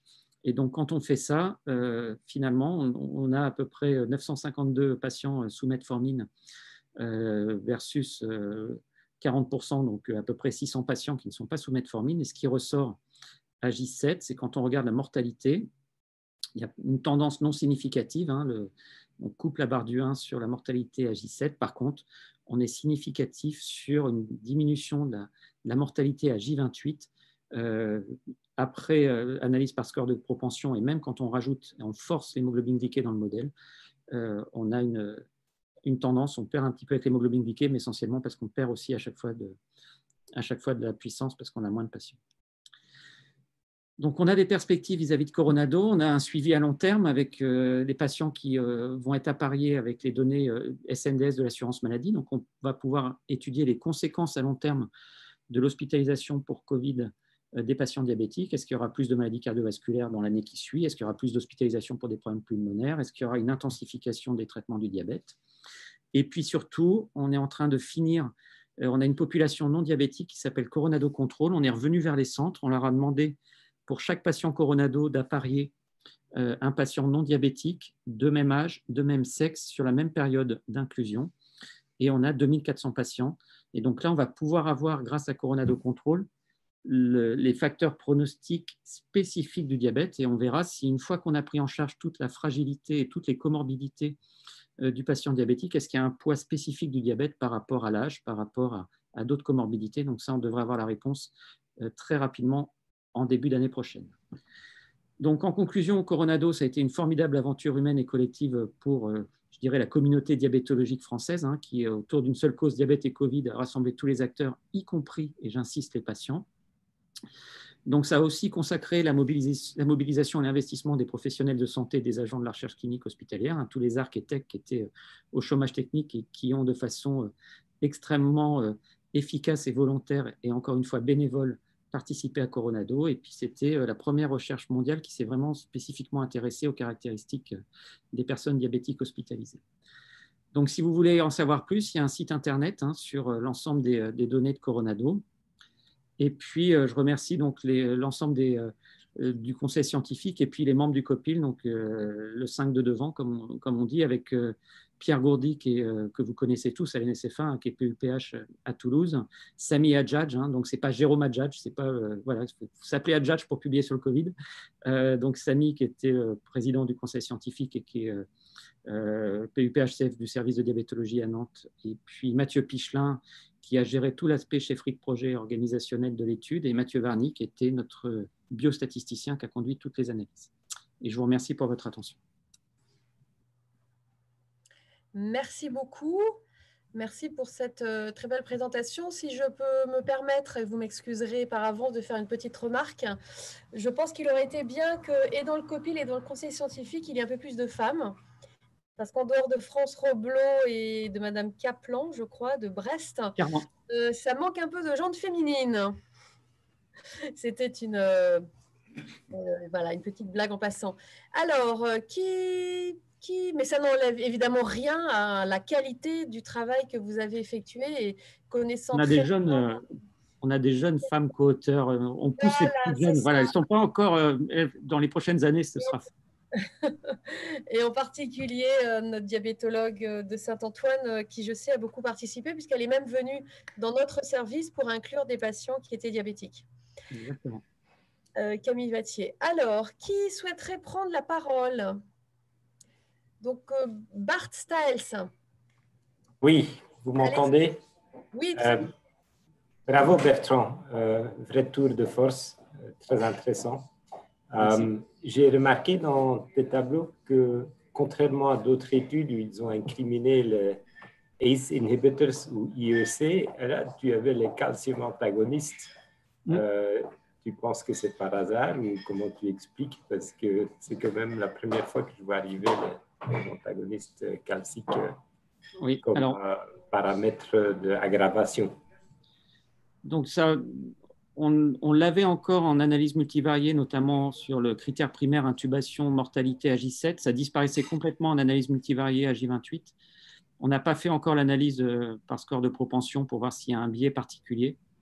Donc, euh, c'est quelque chose qu'on doit faire, sachant que sur l'IEC et bloqueur du système rénine-angiotensine, on n'a aucun signal.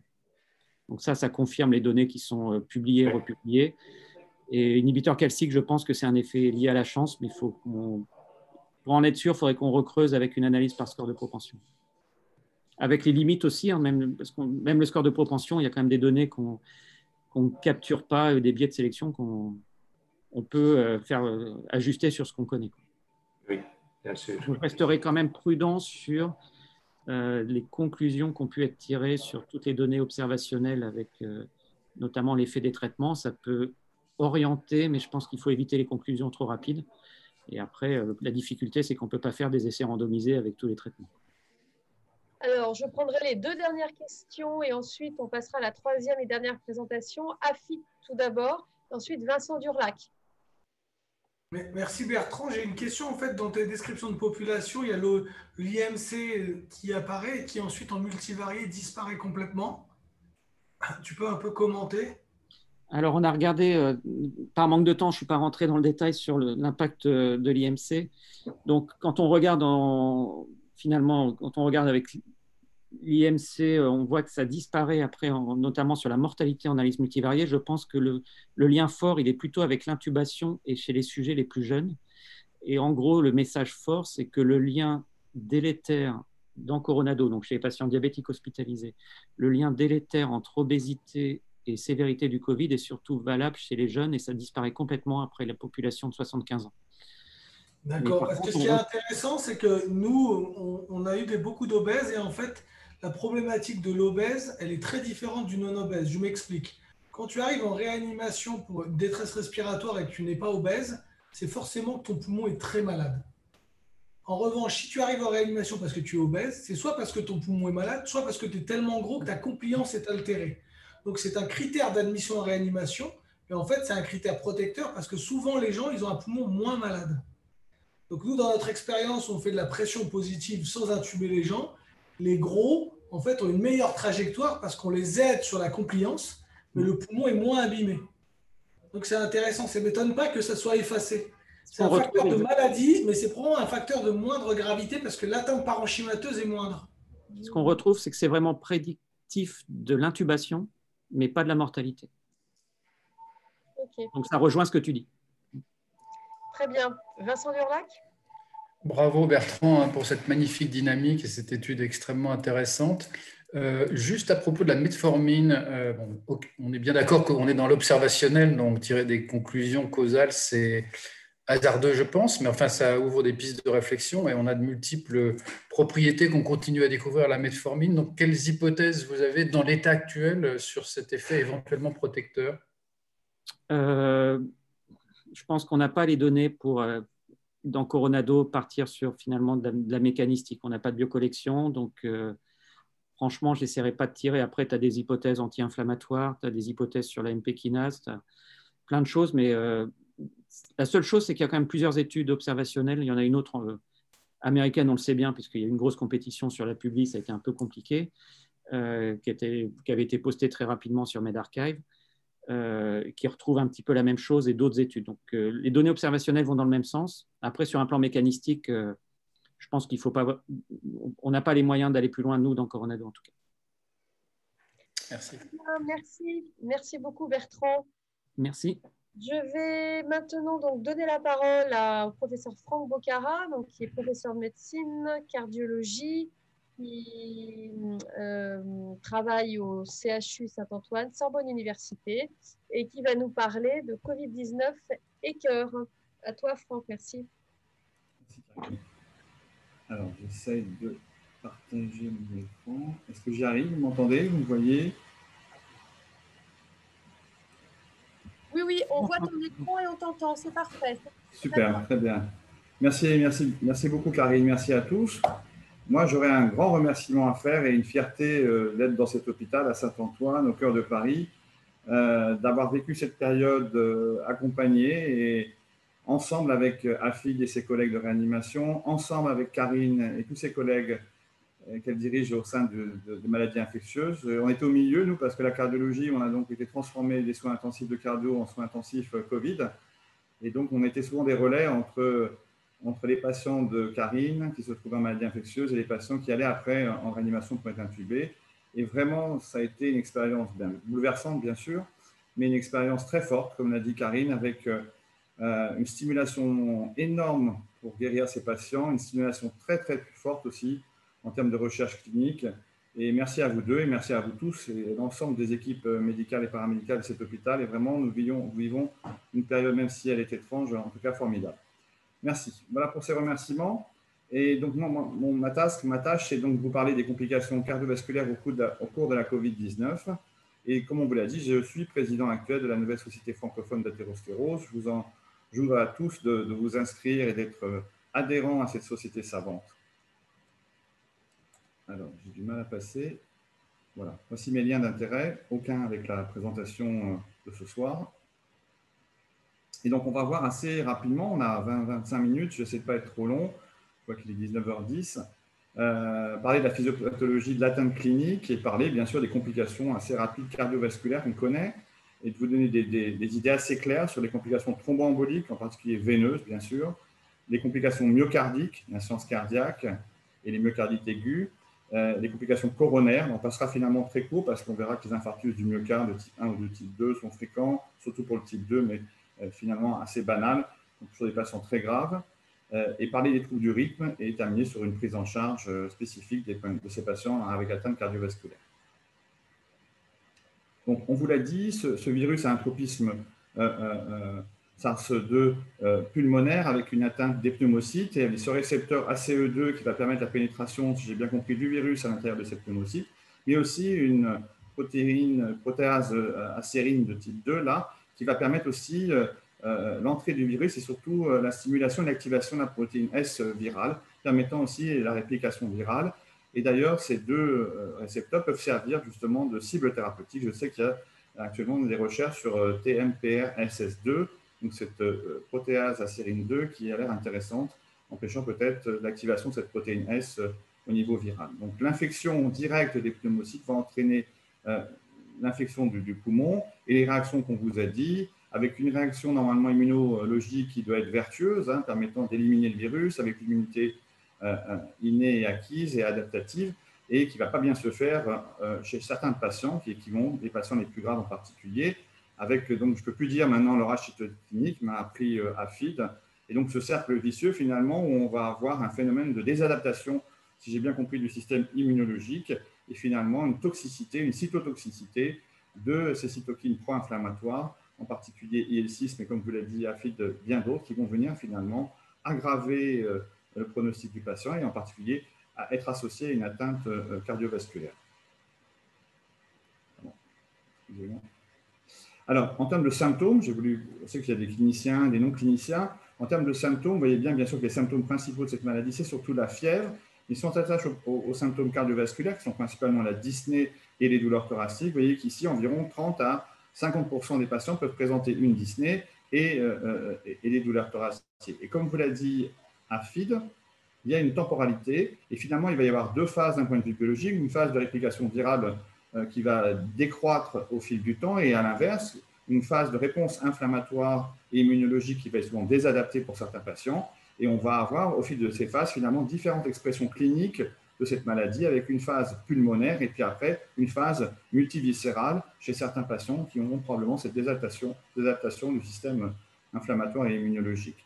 Avec, comme l'a dit Afid euh, et comme l'a dit aussi euh, Bertrand pour la, pour la diabéto, on aura aussi euh, des marqueurs pronostiques qui vont être principalement ces cytokines euh, pro-inflammatoires, mais d'autres marqueurs euh, cardiologiques, on verra, la troponine et le BNP. Alors voilà, vraiment cette phase et cette dichotomie est très bien faite dans cet article du JAC, qui est donc la grande revue de, cardiologie nord-américaine, où avec ces trois phases en termes de période, la phase douce entre 0 et 7 jours, puis après, cet orage qui n'est pas un orage cytokinique, avec une atteinte pulmonaire euh, principalement, hein, chez les patients qui ont des symptômes, hein, bien sûr. On a vu qu'environ 50 à 70% des patients étaient asymptomatiques.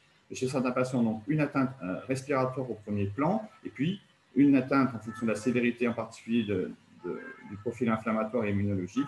On aura au-delà du 14e jour une atteinte multi-organe, avec aujourd'hui, je vais vous parler donc, de l'atteinte cardiovasculaire qui peut être retrouvée et qui est le plus souvent associée à une augmentation de la troponine, des marqueurs de stress cardiologique comme le BNP.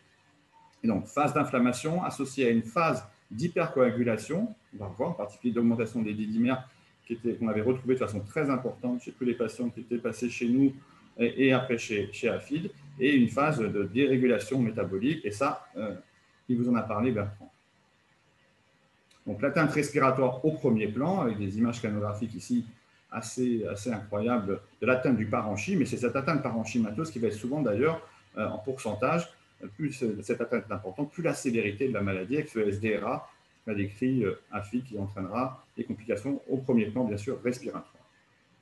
Donc, on a des comorbidités associées. On voit bien qu'il y a très peu de patients. Ici, c'est une photographie faite sur euh, un certain nombre de patients en réanimation euh, avec Santé publique France. Et on regarde des patients qui sont hospitalisés et admis en réanimation pour Covid-19. Vous voyez, il y a très peu de patients qui n'ont pas de comorbidité. Et les comorbidités, les quatre les plus fréquentes, qu'on retrouve le plus souvent, c'est euh, euh, une obésité, chez près de 50% des patients avec un IMC supérieur à 30, une hypertension artérielle chez 40 à 50%, comme l'avait dit d'ailleurs Bertrand, la présence de diabète chez un, tiers des, patients, une pathologie cardiaque préexistante à la COVID chez un quart des patients, une pathologie pulmonaire aussi chez environ un quart. Donc on voit bien que les quatre finalement comorbidités associées à cette maladie, sans qu'il y ait un lien de causalité, attention, euh, ou, du, moins une, aggravation probablement de la maladie qui est plus importante chez ces patients, obèses, hypertendus, diabétiques et qui ont déjà une pathologie euh, cardiaque connue. Alors, la physiopathologie, finalement, peut correspondre aux, symptômes de la maladie. Et on va voir que finalement, au niveau du myocarde et au niveau du vaisseau, on va avoir au niveau du myocarde une atteinte euh, à type de myocardite, qui est le plus souvent en rapport, on verra, avec une atteinte directe ou indirecte du virus, qui va entraîner de l'insuffisance cardiaque, par avoir des, arythmies auriculaires ou ventriculaires potentiellement mortelles. Et au niveau de l'atteinte vasculaire, on va avoir une vascularité, on parlera même d'endothélite liée à la COVID-19, entraînant une atteinte de la microcirculation et aussi bien sûr une atteinte thrombotique qui vont provoquer des, dégâts dans chaque organe. Alors les atteintes cardiovasculaires sont résumées ici sur cette diapositive avec cette infection à SARS au niveau local pulmonaire et finalement on va avoir euh, euh, une, atteinte systémique en particulier au niveau à cause de l'inflammation pouvant euh, toucher le vaisseau et pouvant toucher le myocarde. Donc au niveau du vaisseau, on aura une atteinte en particulier endothéliale. Cette atteinte endothéliale peut toucher au niveau euh, coronaire et entraîner ce qu'on verra un infarctus de type 1 ou un infarctus de type 2 en fonction de la désadaptation entre l'apport en oxygène et les besoins du, patient. Donc l'atteinte endothéliale au niveau coronaire peut provoquer un infarctus du myocarde, un infarctus qui peut être de type 1 ou de type 2, car on peut avoir directement, comme vous voyez sur ce diapo, une rupture de plaque instable chez un patient qui peut être lié probablement à cet orage entre guillemets cytokinique ou une inflammation qui est très importante. Au-delà des vaisseaux, on va avoir une atteinte probablement aussi myocardique qui va être rencontrée fréquemment chez les patients. On verra son incidence, pouvant entraîner une myocardite aiguë, soit directement par l'atteinte de la nécrose myocytaire liée au virus, mais aussi secondaire à l'orage cytokinique et euh, à des cytokines pro-inflammatoires qui sont cytotoxiques au niveau du myocyte. Et ça pour entraîner, bien sûr, une insuffisance cardiaque. Donc, on voit bien que l'atteinte coronaire, le syndrome coronaire aigu, l'atteinte myocardique avec le risque d'insuffisance cardiaque, et enfin, probablement lié au damage, pardon, aux blessures myocardiques, au traumatisme myocardique, on peut avoir une sorte de fibrose myocardique et un risque accru, en cas de myocardite ou non, d'arythmie ventriculaire. Donc finalement, les trois événements les principaux qu'on pourra rencontrer, c'est les arythmies ventriculaires graves chez ces patients, l'insuffisance cardiaque et les infarctus du myocarde de type 1 ou type 2. Il ne faut pas oublier, bien sûr, aussi la toxicité de certains médicaments antirétroviraux, antiviraux pardon, et en particulier euh, les médicaments qui allongent l'équité, on le reverra plus tard. Donc l'atteinte thromboembolique, et c'est surtout l'atteinte thromboembolique veineuse dont je vais parler, mais ne pas oublier, je n'en parlerai pas, qu'il y a eu quand même des cas d'atteinte thromboembolique artérielle qui ont été découverts dans cette maladie avec des thromboses euh, artérielles, en particulier aortiques, et des cas cliniques nombreux d'ailleurs qui ont été publiés, donc on puisse comprendre d'ailleurs euh, le phénomène. Donc, il est probable que les facteurs qui, sont associés à cette maladie thrombolique sont des facteurs d'hypercoagulabilité en période d'infection à, COVID-19, en particulier l'inflammation alvéolaire qu'on va trouver au niveau euh, pulmonaire, avec, on sait, au niveau du poumon, et, et n'en a pas parlé, mais il a tout à fait raison, c'est assez compliqué ce n'est pas le sujet aujourd'hui, de microthrombie au niveau euh, du parenchyme et de la vascularisation pulmonaire, l'altération de cette euh, membrane alvéolo-capillaire pour entraîner des dépôts de facteurs de coagulation et de fibrine. On a donc d'abord une agression des cellules endothéliales au niveau des artères pulmonaires et tout ça va favoriser une augmentation de l'expression du facteur tissulaire et une cascade pro-inflammatoire. Quel est le rôle là aussi de l'interleukine 6 ou du complément?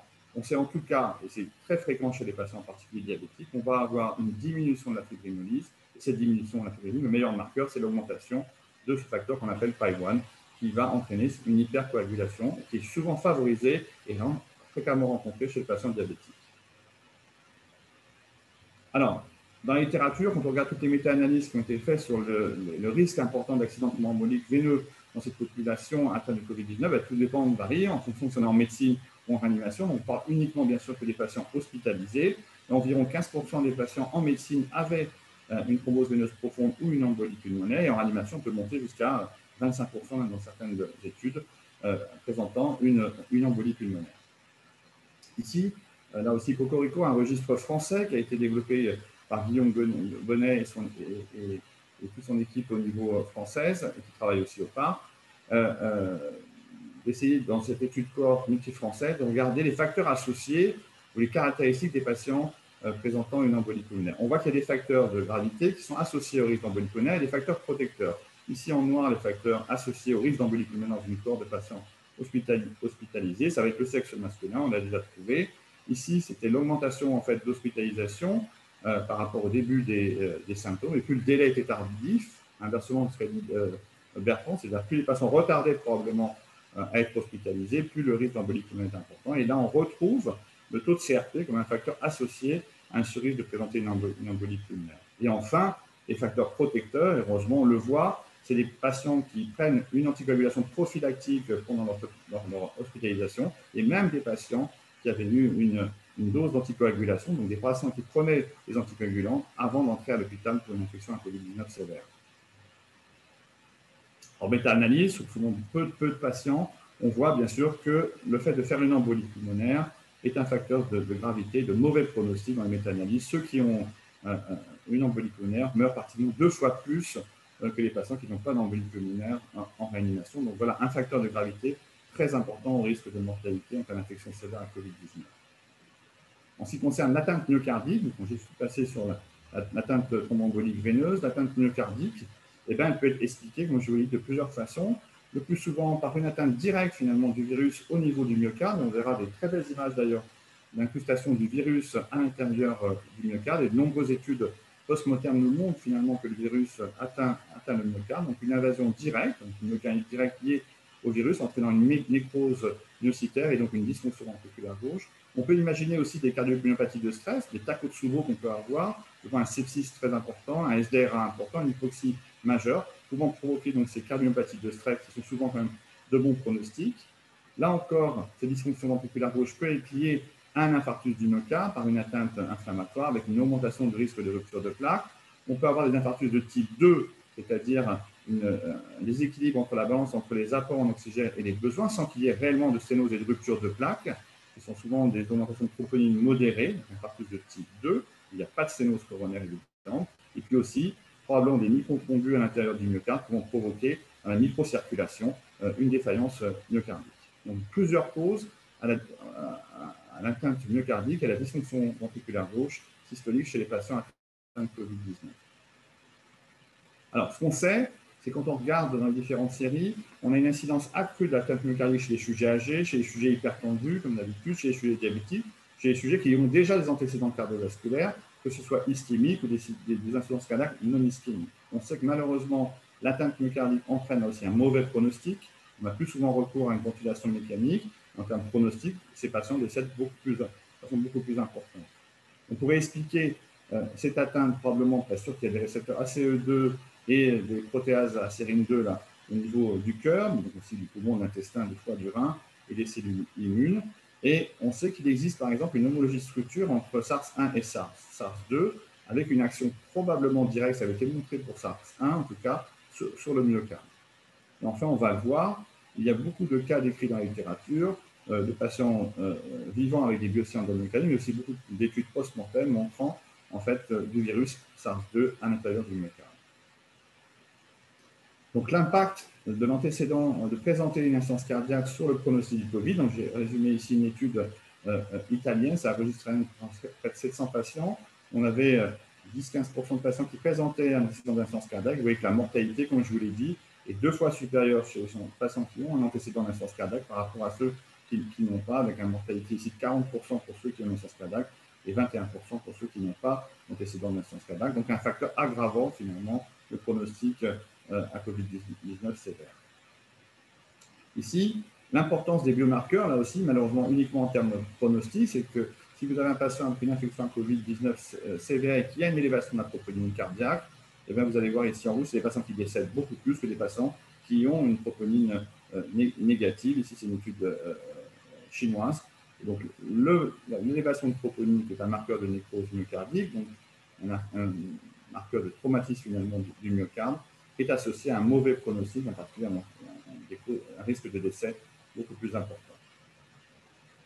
Si ici un beau cas rapporté, c'est juste pour, pour poser quelques minutes et vous montrer une, femme de 21 ans, je pense que c'est une étude chinoise aussi, si je me souviens, publié dans l'European Heart Journal lors de la première phase. Donc, vous voyez ici une patiente avec une insuffisance cardiaque et un gros cœur qui a 21 ans, des anomalies atypiques de la repolarisation et pas de signe d'infarctus du myocarde, un scanner coronaire ici, DEFG qui montre pas d'atteinte coronaire, un scanner thoracique qui montre une atteinte parenchymateuse typique envers des colis périphériques liés à la COVID, et euh, ils font une IRM cardiaque devant l'absence finalement d'atteinte coronaire chez ces patients qui a une dysfonction ventriculaire gauche, ils retrouvent une myocardite typique en euh, IRM cardiaque, retrouvant ce qu'on appelle une prise de contraste tardive en T2 sous-endocardique et un, œdème euh, myocardique, signant finalement de façon quasi pathognomonique une myocardite.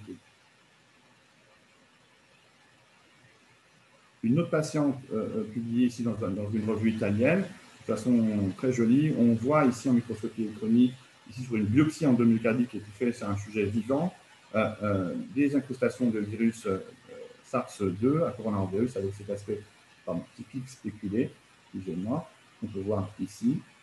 Donc, il y a du virus dans le myocarde. Chez ces patients qui ont une dysfonction euh, ventriculaire c'est probablement la toxicité directe du virus.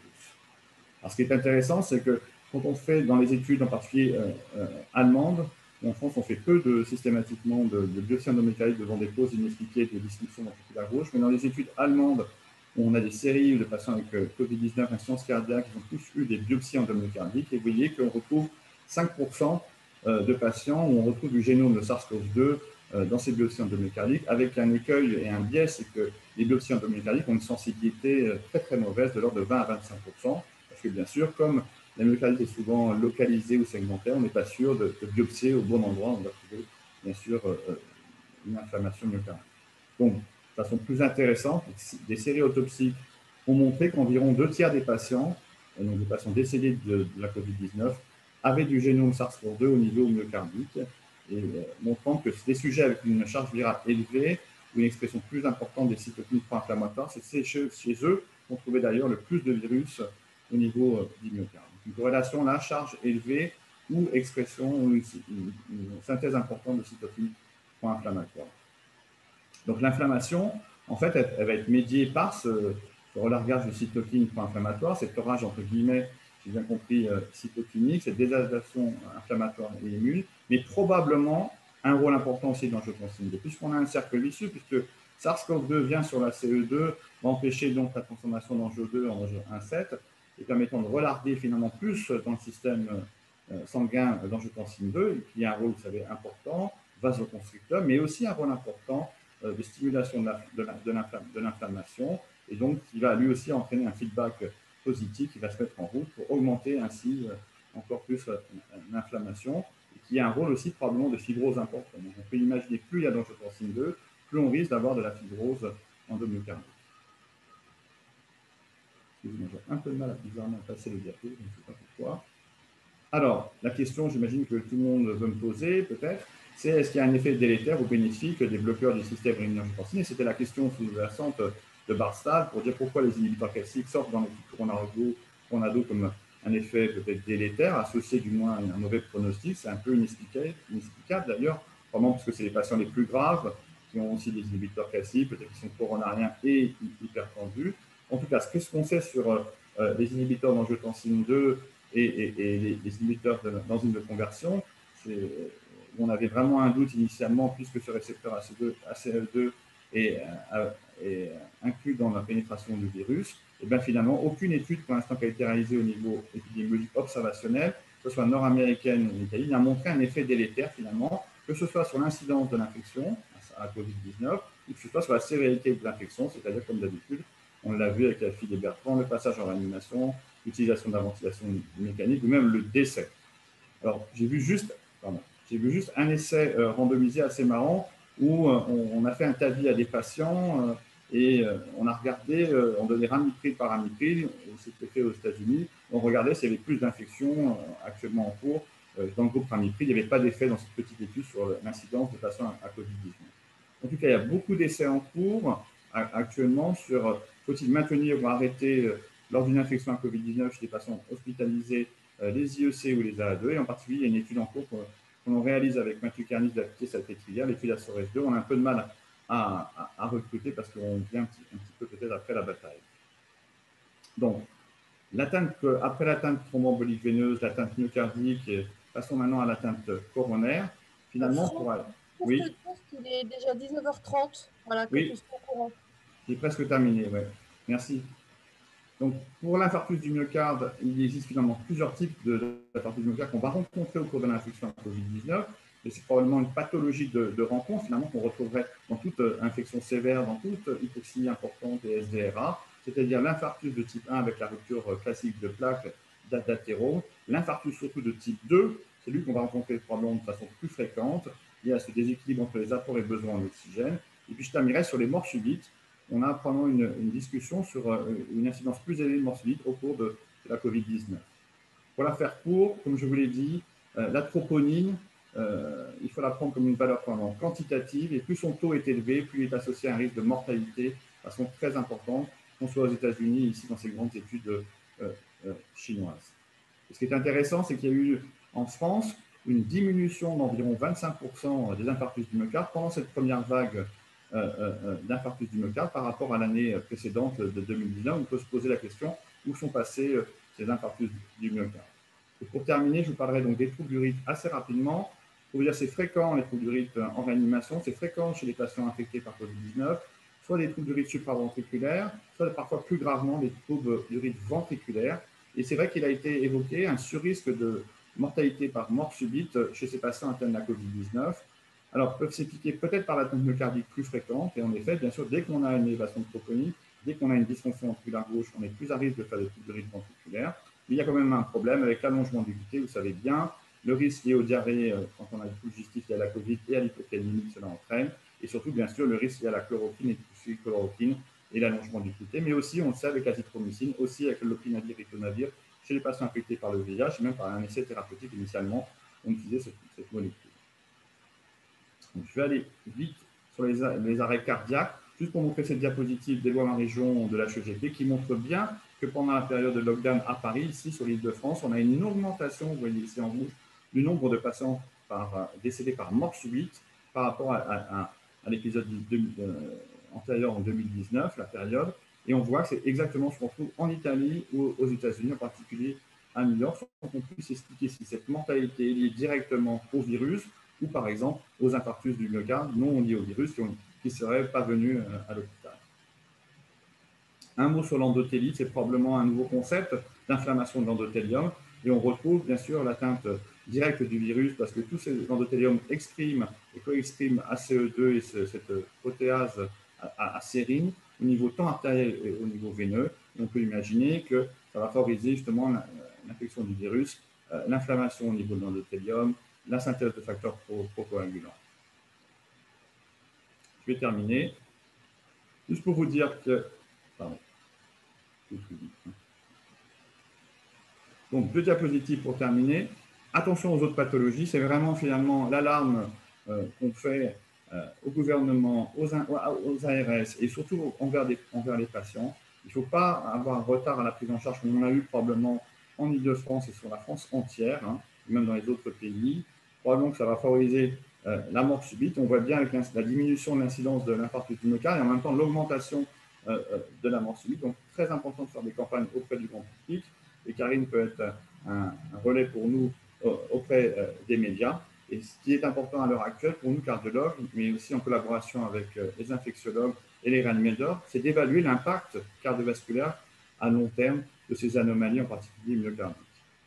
Donc, je dirais en conclusion qu'on a probablement une action directe et indirecte du virus SARS-CoV-2 au niveau du cœur en raison de l'inflammation, de l'activité euh, de stimulation endothéliale et de la thrombose microvasculaire, ce qui détermine, à mon avis, l'extension euh, de l'atteinte cardiovasculaire. Je, pense, je pensais, moi, j'étais convaincu par je pensais que c'était la charge virale, mais aussi, donc, bien sûr, la réponse immune et la présence des comorbidités, le diabète, l'HTA, l'obésité, l'antécédent, bien sûr, d'instance cardiaque chez ces patients.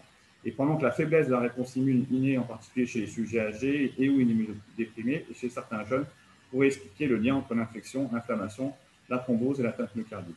Ne l'oubliez pas, en 25% des patients hospitalisés à SARS-CoV-2 euh, euh, SARS ont une souffrance myocardique démontré par une atteinte, une élévation de la troponine.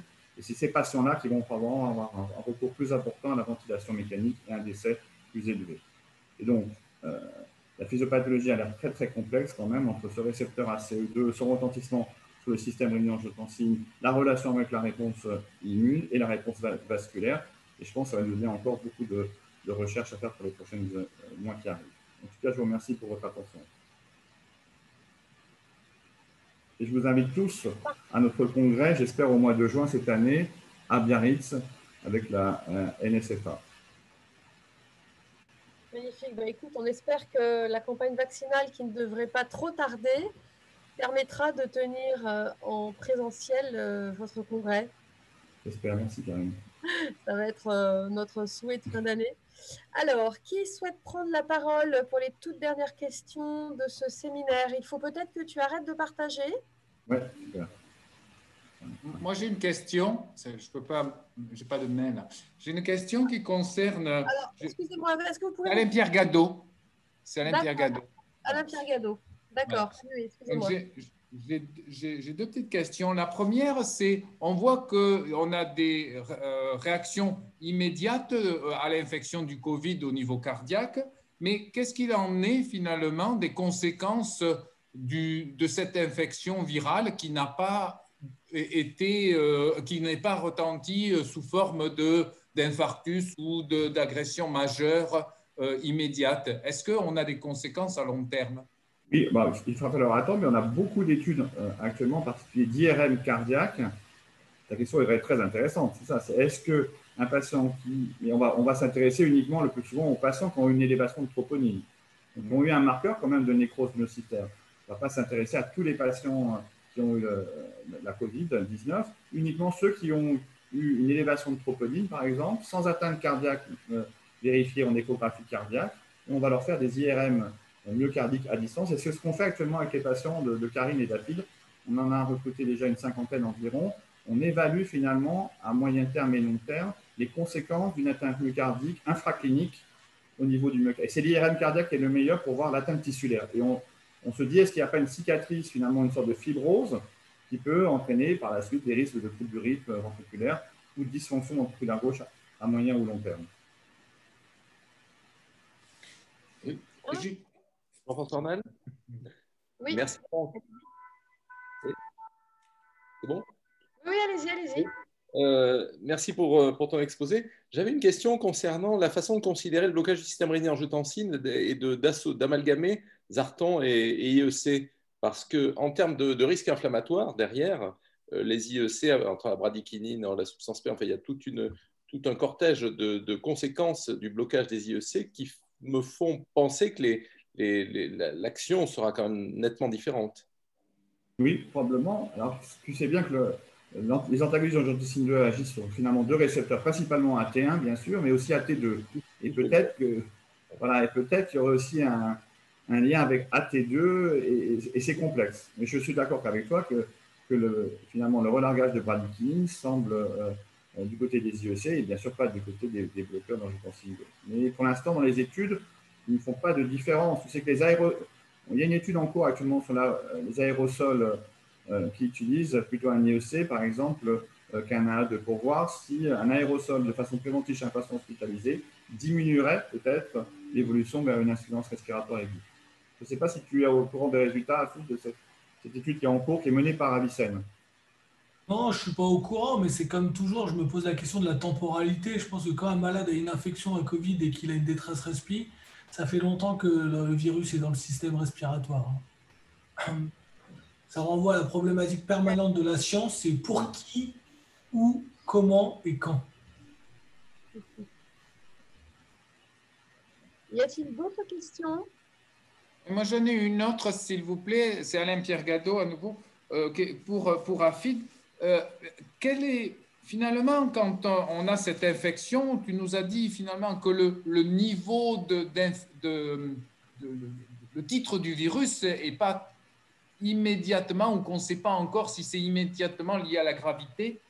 Et finalement, par contre, tous, la gravité, elle est liée à cette inflammation, à cette ocytokine dont tu nous as parlé. Et est-ce que ça a une conséquence systémique? Est-ce qu'il y a une conséquence systémique? Est-ce que c'est l'infection par le virus qui va infecter l'endothélium euh, des orteils, par exemple? Ou est-ce que finalement, c'est la, cette concentration de, à, la fois, des, neutrophiles qui peuvent induire la thrombose, à la fois des cytokines qui a un effet général? Oui, oh, c'est une question importante. En, fait, euh, ce que je dis d'abord sur la relation entre virus et infection, c'est que en fait, les études publiées ne permettent pas vraiment de répondre à la question pour plusieurs raisons. La première, c'est que quand le virus rentre dans le tractus respiratoire, ensuite il descend, comme disait ma grand-mère, ça descend sur mes bronches, ce qui est vrai. Ensuite, de proche en proche, ça atteint le poumon. Sauf que les études sont faites des écouvillons nasaux pour des gens qui ont déjà une atteinte respiratoire. Donc en fait, on ne regarde pas la charge virale dans le bon compartiment. L'idéal, ça serait sur des gens qui ont une atteinte respiratoire, d'avoir la charge virale respiratoire de façon prospective. Là, on pourrait l'approcher tout comme la relation avec le compartiment plasmatique est très loin du compartiment pulmonaire. Donc on n'a pas vraiment les éléments pour dire est-ce que la charge virale dans le poumon conditionne l'agression pulmonaire? Après aussi, on sait ça beaucoup dans le sepsis depuis 30 ans, parce que ce que je vous ai dit aussi, c'est que la réponse en fait de ce virus, elle ressemble beaucoup à des agressions bactériennes ou à des agressions type trauma chez en réanimation. C'est une agression avec un regardage beaucoup de cellules inflammatoires. Mais en tout cas, dès que le coup est parti, c'est un peu ce que mon message, c'est que quand vous avez une réponse inflammatoire, c'est trop tard, le coup est parti. Et, après, nous, ce qu'on voit, c'est les conséquences de cette réponse inflammatoire. L'exemple typique, c'est la relation entre IL-6 et fibrinogène. L'IL-6 est un des principaux triggers de la production de fibrinogène. Quand les malades arrivent au réa, ils ont 10-12 de fibrinogène. Et le fibrinogène, c'est le substratum de la thrombose. Donc clairement, il y a au départ une réponse inflammatoire qui a une susceptibilité variable, mais après, il y a toute une cascade d'événements. Et la question, c'est où est-ce qu'on peut cibler? Si on est très tôt, on peut être très tôt en amont. Et, si on est en retard, il faut cibler les conséquences. Et c'est ce qu'on fait, par exemple, avec des anticoagulants. Je veux dire, nous, dans le service, on a très, parce qu'on fait beaucoup d'échographies dans notre service, on voyait en temps réel les malades thrombosés. Il y a des malades, vous leur mettez un cathéter, vous faites une heure après, vous voyez le thrombus se former. Donc ils étaient en état d'hypercoagulabilité qui est incontestable. Là, ce n'est pas l'immunité qu'il faut targeter, c'est déjà trop tard sur. En revanche, on donne des anticoagulants, et depuis qu'on donne des anticoagulants, clairement, on a réduit beaucoup les complications thromboemboliques en réanimation. Bien. Alors, peut-être, je vois que les questions se sont épuisées. Je vais peut-être laisser euh, le mot de la fin à Franck vous dire juste pour ma part que j'étais ravie de modérer votre euh, séminaire. Euh, je pense que, et vous l'avez vu avec ce que nous ont dit nos trois orateurs, qu'on a encore beaucoup de voies de recherche à explorer. Euh, comme j'ai brièvement dit tout à l'heure, j'espère que la campagne de vaccination va vous permettre de tenir votre prochain séminaire en présentiel, mais euh, ce que je rajoute maintenant, c'est que malgré la vaccination, on n'en a pas encore fini avec la Covid-19 et donc euh, le champ de la recherche est encore complètement ouvert. Voilà, je vais laisser euh, Franck pour le mot de la fin. Merci Karine. Oui, bah, je n'ai pas grand-chose à rajouter. Merci à tous ceux qui ont pu participer à ce, séminaire ce soir pour notre premier séminaire. Merci aux super orateurs. Merci Karine, Bertrand et à, et j'espère qu'on vous retrouvera pour les prochains webinaires et surtout euh, on t'invitera, je te promets, Karine, à, Biarritz. C'est magnifique au mois de juin. Ça traduit bien, il faut trop poser un peu. Merci à tous, en tout cas. Merci à tout le monde. Au revoir. Merci, au revoir. Merci, au revoir. Merci, au revoir.